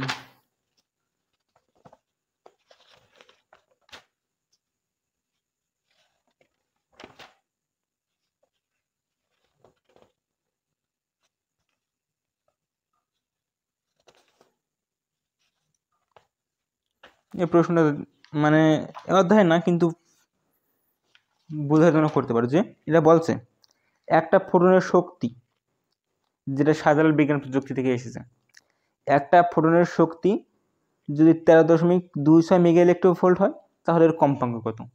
কম্পাঙ্ক কত? তাহলে সাবেক পড়বে মানে কি সাধারণ বিজ্ঞান প্রযুক্তি? এখানে বলতে দেখো, শক্তি বলে দিয়েছে। শক্তি কত বলেছে? তেরো দশমিক দুই ছয়। তেরো দশমিক দুই ছয় মেগা ইলেকট্রো ভোল্ট। তাহলে এর কি বের করতে বলেছে? কম্পাঙ্ক বের করতে বলেছে। আর আমরা কম্পাঙ্ক তো জানি। এইচ এফ সমান কি? ই তাহলে এফ সমান কি হবে? ই বাই এইচ ই এর মান কত? তেরো দশমিক ছয়। তেরো দশমিক দুই ছয় গুণিত। মেগা মেগা ইলেকট্রোভোল্ট মেগা মানে কি? Ten to the power six electrovolt মানে কি? One point six six into ten to the power minus minus nineteen divided by এইচের মান কত? Six point six point six three গুণিত ten to the power minus thirty four এখান থেকে কী পাবো? আহার যে অ্যান্সার পাবো, এটা ক্যালকুলেটারে দেবে, কারণ এটা কত সালে এসেছে? এসেছে পনেরো ষোলোতে এসেছে। তো ক্যালকুলেটার তখন ছিল। ওকে দেন প্রশ্ন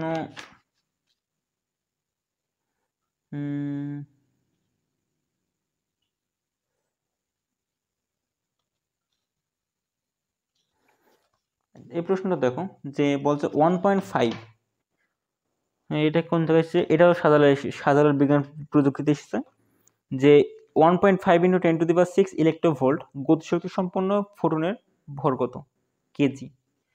One point five into ten to the power six electrovolt গতিশক্তি সম্পন্ন ফোটনের প্রোটনের ভর কত? তাহলে আমার ভর চেয়েছে, আমার কিন্তু শক্তি দিয়ে দিয়েছে, আমার ভর চাচ্ছে। তাহলে ই এবং এম এর মধ্যে সম্পর্ক কি? এম সি স্কোয়ার ইর মান কত বলছে? One point five into ten to the power six one point five গুণিত ten to the power six electrovolt বলছে। সো ইলেকট্রোভোল্ট থাকলে কী করব? ওয়ান পয়েন্ট সিক্স সিক্স গুণিত ten to the power minus nineteen coulomb দেবো। তুমি চাইলে, দরকার নেই, থাক। আমার এমস আসছে তাহলে এখানে কি? সি স্কোয়ার দ্বারা ভাগ দেবো। থ্রি গুণিত টেন টু দি পাওয়ার থ্রিকে বর্গ করলে কত হয়? নাইন হয়। এখানে নয় দুগুণে কত হয়? আঠারো হয়। কত থাকে? এই আট দুগুণে ষোলো হয়। দেন ক্যালকুলেশন করলে পেয়ে যাবা।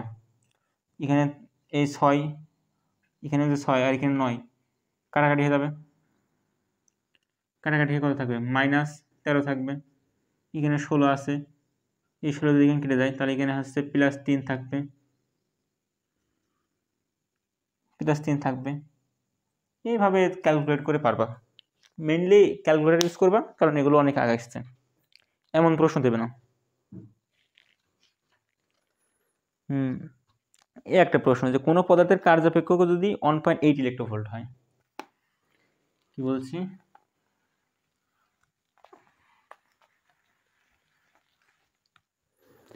বলছে যে কোনো পদার্থের কার্যপেক্ষক কার্যপেক্ষক কার্যপেক্ষক কি? ফাই বলছে কোনো পদার্থের কার্যপেক্ষক যদি one point eight five electrovolt হয় one point eight five electrovolt হয়, তবে পদার্থের সূচন কম্পাঙ্ক কত? তাহলে কি বের করতে পারবে সূচন কম্পাঙ্ক মানে এফ নট এফ নট তাহলে এফ নট সমান কি হয়? যদি ফাই সমান যদি এইচ এফ নট হয়, তাহলে এফ নট সমান কি হবে?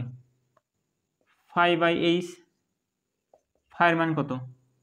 ওয়ান পয়েন্ট এইট ফাইভ এখানে কিন্তু ইলেকট্রোভোল্ট আছে। তুমি যদি চাও ওয়ান বাই সিক্স ব্যবহার করতে পারো ten to the power minus eighty অবশ্যই শিখেছি। যে one point six six into ten to the power minus nineteen coulomb থাকলে বা নাইনটিন থাকলে এটাকে লিখতে পারি ওয়ান বাই সিক্স গুণিত ten to the power minus eighty এখানে পাওয়ার এক কমবে। তুমি চাইলে দশমিক মানে যখন হাতে ক্যালকুলেশন আসবে টস করে এটা ব্যবহার করে দেবা। এখানে এর মান কী ব্যবহার করতে বলেছি? টু বাই থ্রি গুণিত ten to the power minus thirty three ঠিক আছে? এবার তুমি ক্যালকুলেশন করে নাও। তোমার দেখো দশমিক শুধু একটা আছে। এই তিনটা উপরে যাবে। এই তিনটা উপরে যাবে। এই দুটা নিচে আসবে। ছয় দুগুণে বারো। নিচে বারো ওয়ান বাই ফোর আসবে। পারবা? এটা ক্যালকুলেশন করবা। অ্যান্সার আসবে। হার্ডসে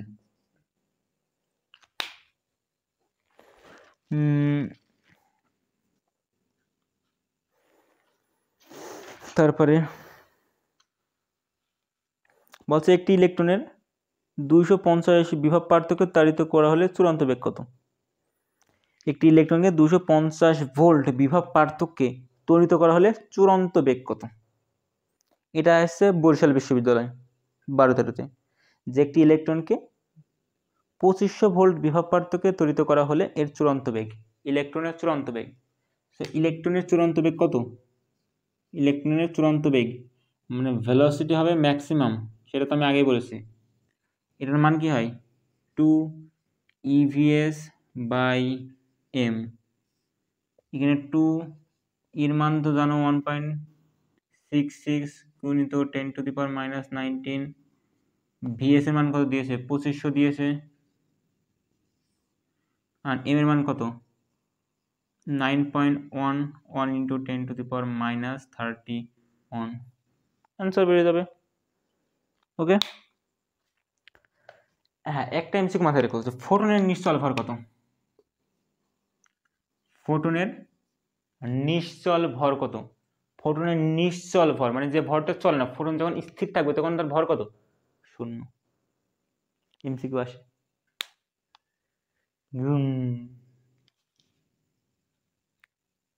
পড়ানোর সময় ঘুমালে হবে, পড়াতে হবে। সো ফোটনের নিশ্চল ভর শূন্য। Always clear hmm hmm hmm hmm hmm. আচ্ছা তারা ভাবছে ইঞ্জিনিয়ারিং প্রশ্ন করাচ্ছে না।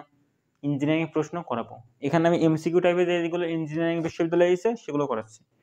কিন্তু মেইন যেগুলো রিটেন টাইপের প্রশ্ন আসবে সেগুলো নেক্সট ক্লাসে শেষ করব।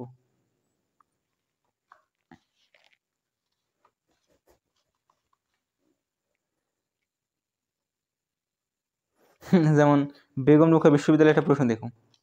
বলছে ফোটনের যদি তরঙ্গ দৈর্ঘ্য four into ten to the power minus seven হয়। তাহলে স্থির ভর কত বলছে কি ফোটনের তরঙ্গ দৈর্ঘ্য এত হলে স্থির ভর কত তুমি তরঙ্গ দৈর্ঘ্য দেখে পাগল হয়ে যাবা। না কি দিয়েছে? কিন্তু বলছে স্থির ভর কত কার স্থির ভর? ফোটনের স্থির ভর। আর ফোটনের স্থির ভর তো শূন্য। আগেই বললাম। মাথায় রেখো প্রশ্ন ক্লিয়ারলি ক্লিয়ারলি পড়বা। ও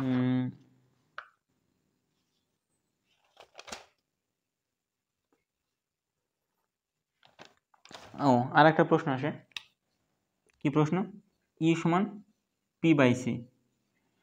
এটা হচ্ছে যখন স্থির ভর শূন্য হবে। স্থির ভর শূন্য। স্থির ভর জিরো। এটা আসে। অনেকগুলো আমাদের ও, আমাদের এবার ঢাবিতে আসছিল। এই প্রশ্নটা ঢাবিতে আসছিল। সো, মাথায় রেখো। ই সমান পি বাই সি আর তো কিছু অঙ্ক দেখতে হবে। হুম হুম হুম। আচ্ছা প্রশ্ন থেকে ঢাবি ছয় সাথে এসে হ্যাঁ এখানে তখন ক্যালকুলেটার ইউজ করতে দিত। অঙ্কটা যখন এসেছে না, তখন ক্যালকুলেটার ইউজ করতে দিত। সো প্যারা নেওয়ার কিছু নয়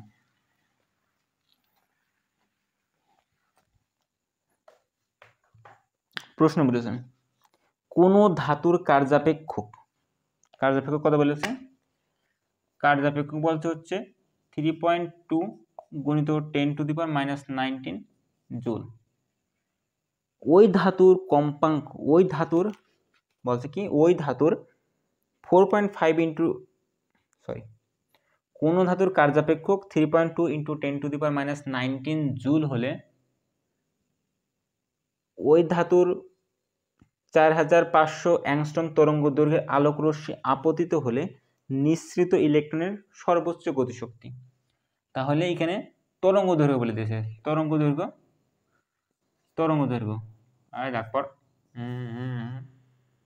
একবার দেখ পর এই তো। বলছে তরঙ্গ দৈর্ঘ্য কত? Four five double zero angstrom. আপত্তি হলে নিঃসৃত ইলেকট্রনের সর্বোচ্চ গতিশক্তি নির্ণয় করে। কি বলেছে? সর্বোচ্চ গতিশক্তি।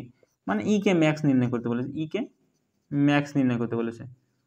মানে ই কে ম্যাক্স নির্ণয় করার ফর্মুলা কি? আমরা বলেছি E of photon E of photon সমান কি বলেছি? কার্য অপেক্ষক প্লাস ইকে ম্যাক্স সর্বোচ্চ গতিশক্তি। আমার এখানে E of photon E of photon দরকার। মানে ই অফ ফোটন কত দিয়ে? দেওয়া আছে? দেওয়া নাই। আমার ইকে ম্যাক্স দরকার। তাহলে আমি ইকে ম্যাক্সকে এই পাশে রাখলাম। আচ্ছা ই অফ ফোটন কত? ই অফ ফোটন হচ্ছে কেন দেখো, এইটা দেওয়া আছে, ল্যামডা। তাহলে এইচ সি বাই ল্যামডা। এবার এইচ সি বাই ল্যামডা, এবার এটা যদি এই পাশে নিয়ে আসি, এই পাশে কী আছে? প্লাস আকার আছে, এই পাশে আসলে কী হবে? মাইনাস হবে। মাইনাসের মান কত? Three point two three point two into ten to the power minus nineteen and H সির মান কত? এইচ সির মান যদি তুমি ওইটা বসাতে চাও মানে ডিরেক্ট শর্টকাট যে two into ten to the power কত হয়েছিল? দুই গুণিত two into three into ten আচ্ছা তুমি ডিরেক্ট ক্যালকুলেটার বসো আর যদি এর আগে যেখানে নোট করে দিয়েছি, সেটা যদি নোট করা থাকে, তাহলে সেটা বসাবো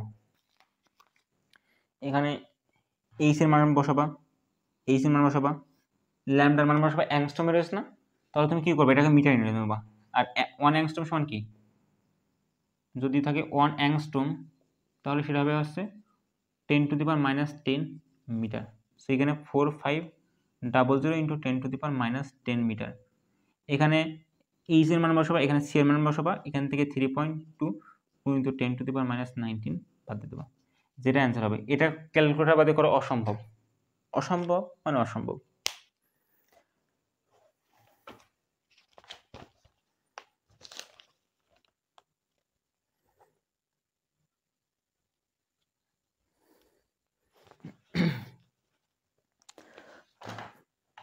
আচ্ছা এ রিলেটেড এমনই প্রশ্ন আসবে।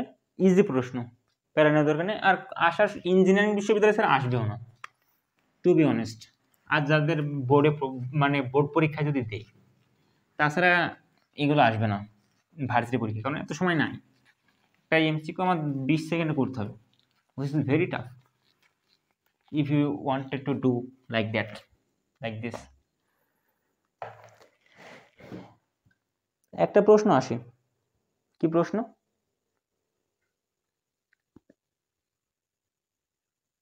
যে দাঁড়া আমি মনে হয় খাতায় লিখাছি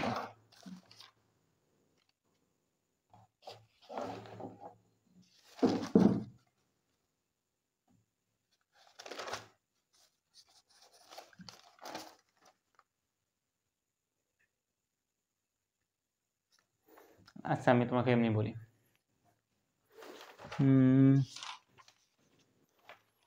এই যে ঢাকা বিশ্ববিদ্যালয় আট নয়তে আসছিল যে এ এবং বি দুটি ফোটন পরস্পর বিপরীত দিকে সি বেগে গতিশীল হলে বি ফোটনের সাথে এ ফোটনের আপেক্ষিক বেগ কত? মনে করো এ একটা ফোটন অ্যাজিউম করো। এটা সি বেগে চলছে। এটা বিপরীত দিকে, এটাও সি বেগে চলছে। এটা বি এটাও সি বেগে চলছে। তাহলে বি এর সাপেক্ষে বি এর সাপেক্ষে এ এর আপেক্ষিক বেগ কত বি এর সাপেক্ষে এ এর আপেক্ষিক বেগ কত তোমরা চিরায়ত পদার্থ বিজ্ঞানের মতো করতে পারো। অ্যান্সার হবে আপেক্ষিক বেগ velocity of velocity of A with respect to B twice C, which is not your correct answer. Is it your correct answer? No. কেন নয়? কারণ কোনো কিছুর বেগ আলোর বেগের চেয়ে বেশি হতে পারে না। কোনো কিছুর বেগ আলোর বেগের চেয়ে বেশি হতে পারে না। সো এখানে খুব সুন্দর করে নোট করে নাও, কোনো কিছুর বেগ, কোনো কিছুর বেগ আলোর বেগের বেশি হতে পারে না। কোনো কিছুর বেগ আলোর বেগের চেয়ে বেশি হতে পারে না। এই জন্য এই অ্যান্সারটা মানে চিরায়ত পদার্থ বিজ্ঞানের নিয়মটা কার্যকরতা হবে না। ফলে অ্যান্সার হবে কি? অ্যান্সার হবে সি আমাদের দেখছি যে এটা সি বেগে যাচ্ছে, এটাও সি বেগে আসছে। আমাদের মনে হতে পারে হ্যাঁ এটা টু সি হবে। টু সি হবে, কিন্তু কোনো কিছুর বেগ আলোর বেগের চেয়ে বেশি হতে পারে না। তোমার যদি এখানে যদি সি বাই টু দেওয়া থাকতো, তাও হতো না। সি বাই ফোর দেওয়া থাকতো, তাও সি অ্যান্সার হতো। যদি সি বাই থাউজেন্ড দেওয়া থাকতো তাও সি অ্যান্সার হতো ক্লিয়ার কারণ, এর সাথে এটা যোগ করলে মানটা সি অপেক্ষা বেশি হয়। কিন্তু আমরা জানি কোনো কিছুর বেগ, কোনো কিছুর বেগ আলোর বেগের চেয়ে বেশি হতে পারে না। এটা খেলা শেষ। এবার আছে Compton effect. Compton effect, Compton Compton effect বাংলায় কিরাম লেগে কমটন। মনে করে এরকম লিখলাম। ইফেক্ট। মানে প্রভাব। এটা কি বলে? এটা বলে, মনে করো এখানে একটা ইলেকট্রন আছে। এখানে একটা কি আছে? ইলেকট্রন আছে। চুপ মেরে দাঁড়ায় রয়েছে। এবার তুমি তো বদ, মনে করো তুমি ফোটন। তুমি মেরা মেরা মেরা মেরা মেরা করে দিয়ে গুদমে দিলে। তুমি কি? তুমি একটা ফোটন। তুমি একটা ফোটন। মনে করো তোমার তরঙ্গ দৈর্ঘ্য ছিল ল্যামডা। ইলেকট্রনের গায়ে ঘা দিলে। তুমি যাচ্ছিলে কি? এইভাবে যাচ্ছিলে? এই সাথে যাচ্ছিলে? যেয়ে তুমি ইলেকট্রনের সাথে ঘা খেয়ে, তুমি যখন কারোর সাথে ঘা খাও, তখন তোমার শক্তির অপচয় হয় না? অবশ্যই হয়। তাহলে এখানে শক্তির অপচয় হবে। সেই শক্তিটা কে পাবে? ইলেকট্রন পাবে। এবার ইলেকট্রনটা পেয়ে মনে করো এইভাবে চলে গেল। কী চলে গেল, এইভাবে চলে গেল ইলেকট্রনটা ইলেকট্রনটা এইভাবে চলে গেল। এবং তুমি তোমার পথ ভ্রষ্ট হয়ে এনাম এনাম করে চলে গেলে। মনে করো তুমি ফোটন এখানে কোনো মেয়েকে পাইছো। তার সাথে কিছু সময়ের মিলের কারণে তোমার জীবনের পথভ্রষ্ট হয়ে গেল। হতে পারে। ফলে ফলে তোমার যদি শক্তি কমে যায় এখন কি বলেছিলাম?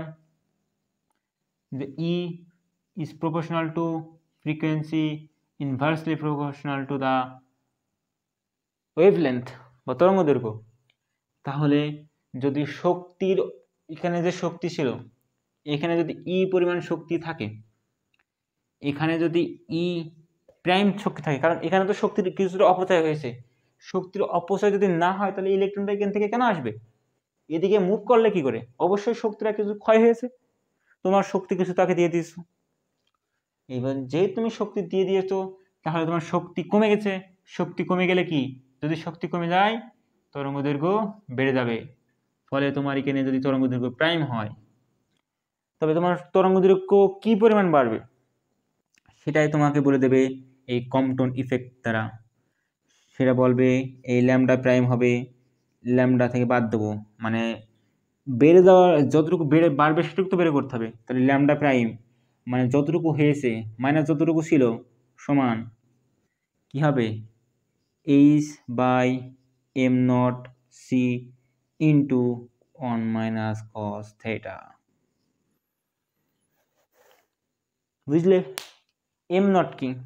আমরা অনেকেই জানি না যে এম নট জিনিসটা কি। এম নট হচ্ছে mass of electron M not কি? ইলেকট্রনের ভর।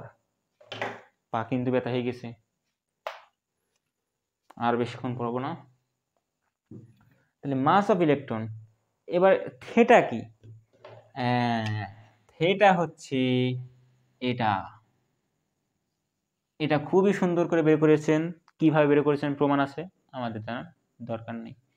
যখন একাডেমিক পড়ালেখা হবে, তখন দেখা যাবে। তাহলে এখানে থেটা এই থেটা টুক হবে। মনে করো থেটা কত রকম হতে পারে? মনে করো থেটা সমান শূন্য হইল। হতে পারে তো? যে এরাম এরামকে যা যদি তুমি এখানে ঘাই খেলে না, তুমি যাই হোক পাশ কাটে চলে গেলে, তখন কি তোমার শক্তি কি ইলেকট্রন পাবে? শক্তি ইলেকট্রন পাবে না। তখন তুমি যে পথে গেছিলে সে পথেই চলে গেলে। তখন থেটার সমান যদি শূন্য ডিগ্রি হয়, এই থেটার সমান যদি শূন্য ডিগ্রি হয়, তাহলে কস কস শূন্য ডিগ্রি মান কত? অন কস নাইনটি ডিগ্রি মান কত? শূন্য। কস ওয়ান এইটি ডিগ্রি মান কত? মাইনাস ওয়ান মুখস্থ থাকতে হবে। তাহলে কস শূন্য ডিগ্রি মান যদি অন হয়, তাহলে এক থেকে এক বিয়োগ করলে কত হয়? শূন্য হয়। শূন্য যদি এর সাথে গুণ করো, কত হয়? শূন্য হয়। তাহলে ল্যামডা প্রাইম মাইনাস ল্যামডা সমান শূন্য বা ল্যামডা, প্রাইম সমান ল্যামডা।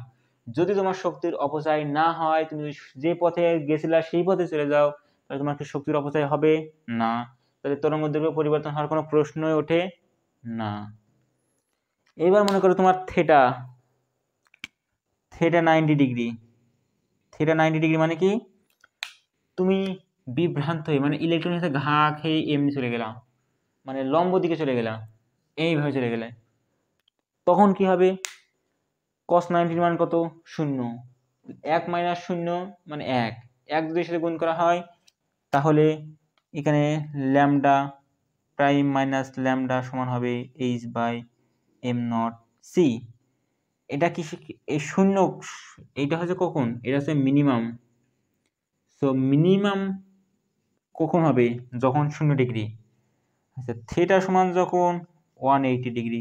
এটা বেশি সবচেয়ে বেশি পরীক্ষায় আসে এটা। সবচেয়ে বেশি পরীক্ষায় এটা আসে একশো আশি ডিগ্রি। একশো আশি ডিগ্রি, তখন একশো আশি ডিগ্রি মানে কত? মাইনাস ওয়ান এই মাইনাস ওয়ান আর এই মাইনাস ওয়ান। তাহলে হবে কি? প্লাস ওয়ান, তাহলে ওয়ান প্লাস ওয়ান কত হয়? টু হয়। তাহলে এই টু এর সাথে গুণ হলে কি হবে? তখন হবে ল্যামডা প্রাইম মাইনাস ল্যামডা সমান হবে two H by M naught C. এখানে এটা হবে maximum value maximum maximum maximum অর্থাৎ, এটা দ্বারা বুঝচ্ছে, যে ইলেকট্রনের সাথে ঘা খেয়ে তুমি আবার তোমার পিছনের দিকে যদি ফিরে আসো, আবার যদি পিছনের পিছনের দিকে ফিরে আসো, তবে তোমার সবচেয়ে বেশি তরঙ্গ দৈর্ঘ্যের পরিবর্তন হবে। তরঙ্গ দৈর্ঘ্য সবচেয়ে বেশি পরিমাণ বাড়বে। ওকে? নোট করে নাও।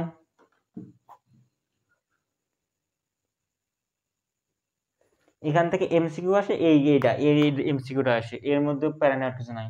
শুধু মাথায় রেখে যে থিওরিটা কি? যে একটা ফোটন যায় ফোটন যায় ইলেকট্রনের সাথে ধাক্কা খাবে, ধাক্কা খেয়ে শক্তির অপচয় হবে। অপচয় হলে কি? ফোটনের তরঙ্গ দীর্ঘ বেড়ে যাবে। এতটুকুই। এর উপর রিলেট করে এই সূত্রটুকু আসে। নোট করে নাও।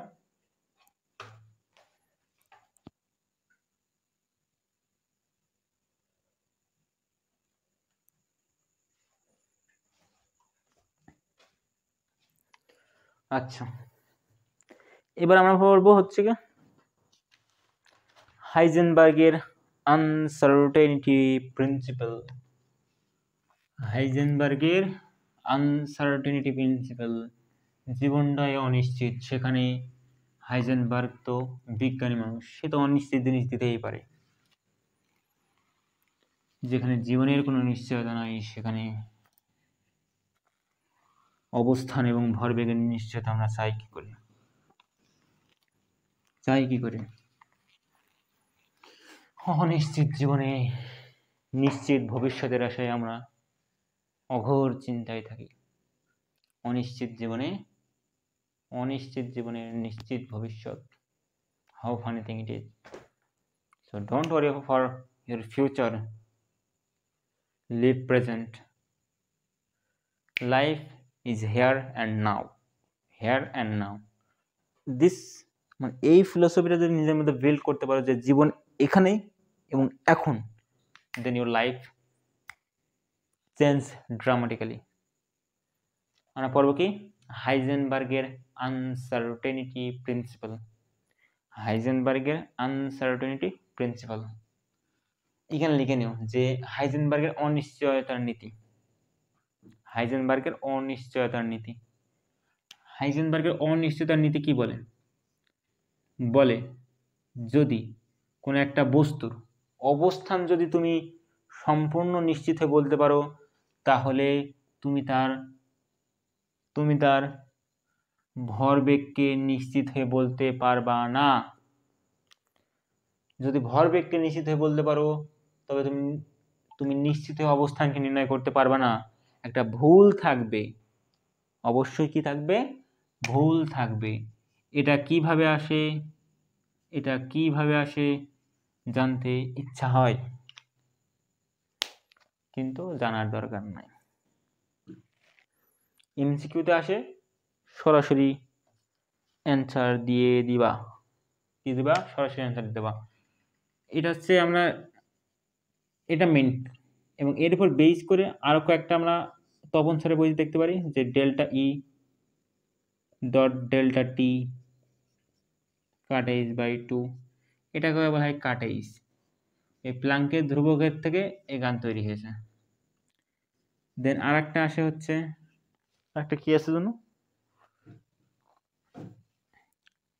এটা হচ্ছে কৌণিক কৌণিক ভরবেগ ইনটু সরি কৌণিক ভরবেগ ইনটু কৌণিক অবস্থান এটা হবে কাটেজ বাই টু তপন স্যারের বইতে এই দুটাও দেওয়া আছে। মাথায় রেখো এমসিকিউতে আসলে অ্যান্সার দিয়ে চলে এসো। মনে হয় কোনো একটা বিশ্ববিদ্যালয়তে এমন এই, এইটা আসতেও সেকেন্ডটা সো থার্ডটা মাথায় রেখো। দিয়ে দিতে পারে। কোন জায়গায় দেবে we don't know but formula কি? যদি কোনো একটা বস্তুর অবস্থান আমি নিশ্চিতভাবে হান্ড্রেড পার্সেন্ট নিশ্চিত বলতে পারি, নিশ্চিত নির্ভুল হয়ে যদি অবস্থান নির্ণয় করতে পারি, তাহলে তার ভরবেগ নির্ণয় করা অসম্ভব। সো যদি কোনো বস্তুর এমসিকিউ আসে এমসিকিউ কি আসে? যদি কোনো বস্তুর অবস্থানের নির্ভরতা যদি শূন্য হয়। অবস্থানের নির্ভুল অবস্থানের মানে নির্ভুলভাবে নির্ণয় করতে পারি, তাহলে ভরবেগ নির্ভুলভাবে নির্ণয় করা সম্ভাবনা অসীম। যদি এটা যদি শূন্য হয়, তাহলে ডেল্টা এক্স নির্ণয় করা অসীম। এটা কোনো একটা পরীক্ষায় এমসিকিউতে আসছিল, কোনো একটা বিশ্ববিদ্যালয়। আর অনেকে ভাবো যে বিশ্ববিদ্যালয় আর মানে এইচএসসি বোর্ড পরীক্ষার MCQ different it is not তোমার যদি কনসেপ্ট থাকে, তুমি সব জায়গায় কার্যকর করতে পারবা। আর চান্স পাওয়ার জন্য কোচিং করা লাগে না। আমি নিজেই করিনি। কোথাও করিনি। কোথাও না। না অফলাইনে না online so don't worry about it যা পড়াচ্ছি পড়ে দাও মাথায় রেখে দাও, হয়ে যাবে। এখান থেকে আর কিছু আসে না। এই এই পাঁচটা বিষয়, এই পাঁচটা বিষয়, এই পাঁচটা বিষয়, এই পাঁচটা বিষয়। এর বাসায় ডি ব্রগলির ইকুয়েশন ডি ব্রগলি খুব মানে আমি অবাক হয়ে যাই, কীভাবে চিন্তা করছিল যে যেখানে আমরা মানামারি করতাম যে কোনো একটা বিষয় কণা না কোনো একটা বিষয় তরঙ্গ কণা না তরঙ্গ কণা না তরঙ্গ। তখন ডি ব্রগলি এসে বললে কণা এবং তরঙ্গ। উভয় ধর্ম বিদ্যমান। কি ধর্ম বিদ্যমান? কণা এবং তরঙ্গ। কে দেন? De Broglie. De Broglie. দাগ পড়িস না কেন? কালে পড়ে গেলি? ডি ব্রগলি দেন। ডি ব্রগলি কি দেন? ডি ব্রগলি দেন wave particle particle duality. Wave particle duality Bangla কি? কণা তরঙ্গ দৈত্য ধর্ম। কণা তরঙ্গ দৈত্য ধর্ম। অর্থাৎ একটা জিনিসের কণা ধর্ম আছে, তরঙ্গ ধর্ম আছে। আমাদের ভিতরে কণা ধর্ম এবং তরঙ্গ ধর্ম আছে। কিন্তু আমরা কণা ধর্ম পরিলক্ষিত হচ্ছি, তরঙ্গ ধর্ম দেখতে পাচ্ছি না। দ্যাটস নট মিন দ্যাট আমাদের ভিতরে তরঙ্গ ধর্ম নাই। আমাদের ভিতরেও তরঙ্গ ধর্ম আছে, কিন্তু আমরা দেখতে পারছি না। এর নিয়ে আরও অ্যাডভান্স পড়ালেখা আছে। ইন ফিউচার ডিসকাস করব। এবং তিনি একটা ইকুয়েশন দেন, এবং ইকুয়েশনটা থাকে এরকম। তরঙ্গ ধর্মের তরঙ্গ দৈর্ঘ্য। তরঙ্গ ধর্মের তরঙ্গ দৈর্ঘ্য হয় প্লাঙ্কের ধ্রুবক, প্লাঙ্কের কার ধ্রুবক? প্লাঙ্কের ধ্রুবক ইন্টু ভরবেগ। ভরবেগ কিসের একক? এটা হচ্ছে কণা ধর্মকে নির্দেশ করে ভরবেগ, এম সি। এটা হচ্ছে কণা ধর্ম কণা ধর্ম এটা কি ধর্ম? এটা হচ্ছে তরঙ্গ ধর্ম।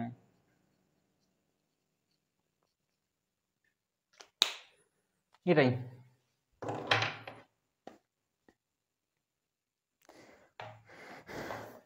এই শেষ হচ্ছে আধুনিক আধুনিক পদার্থবিজ্ঞান।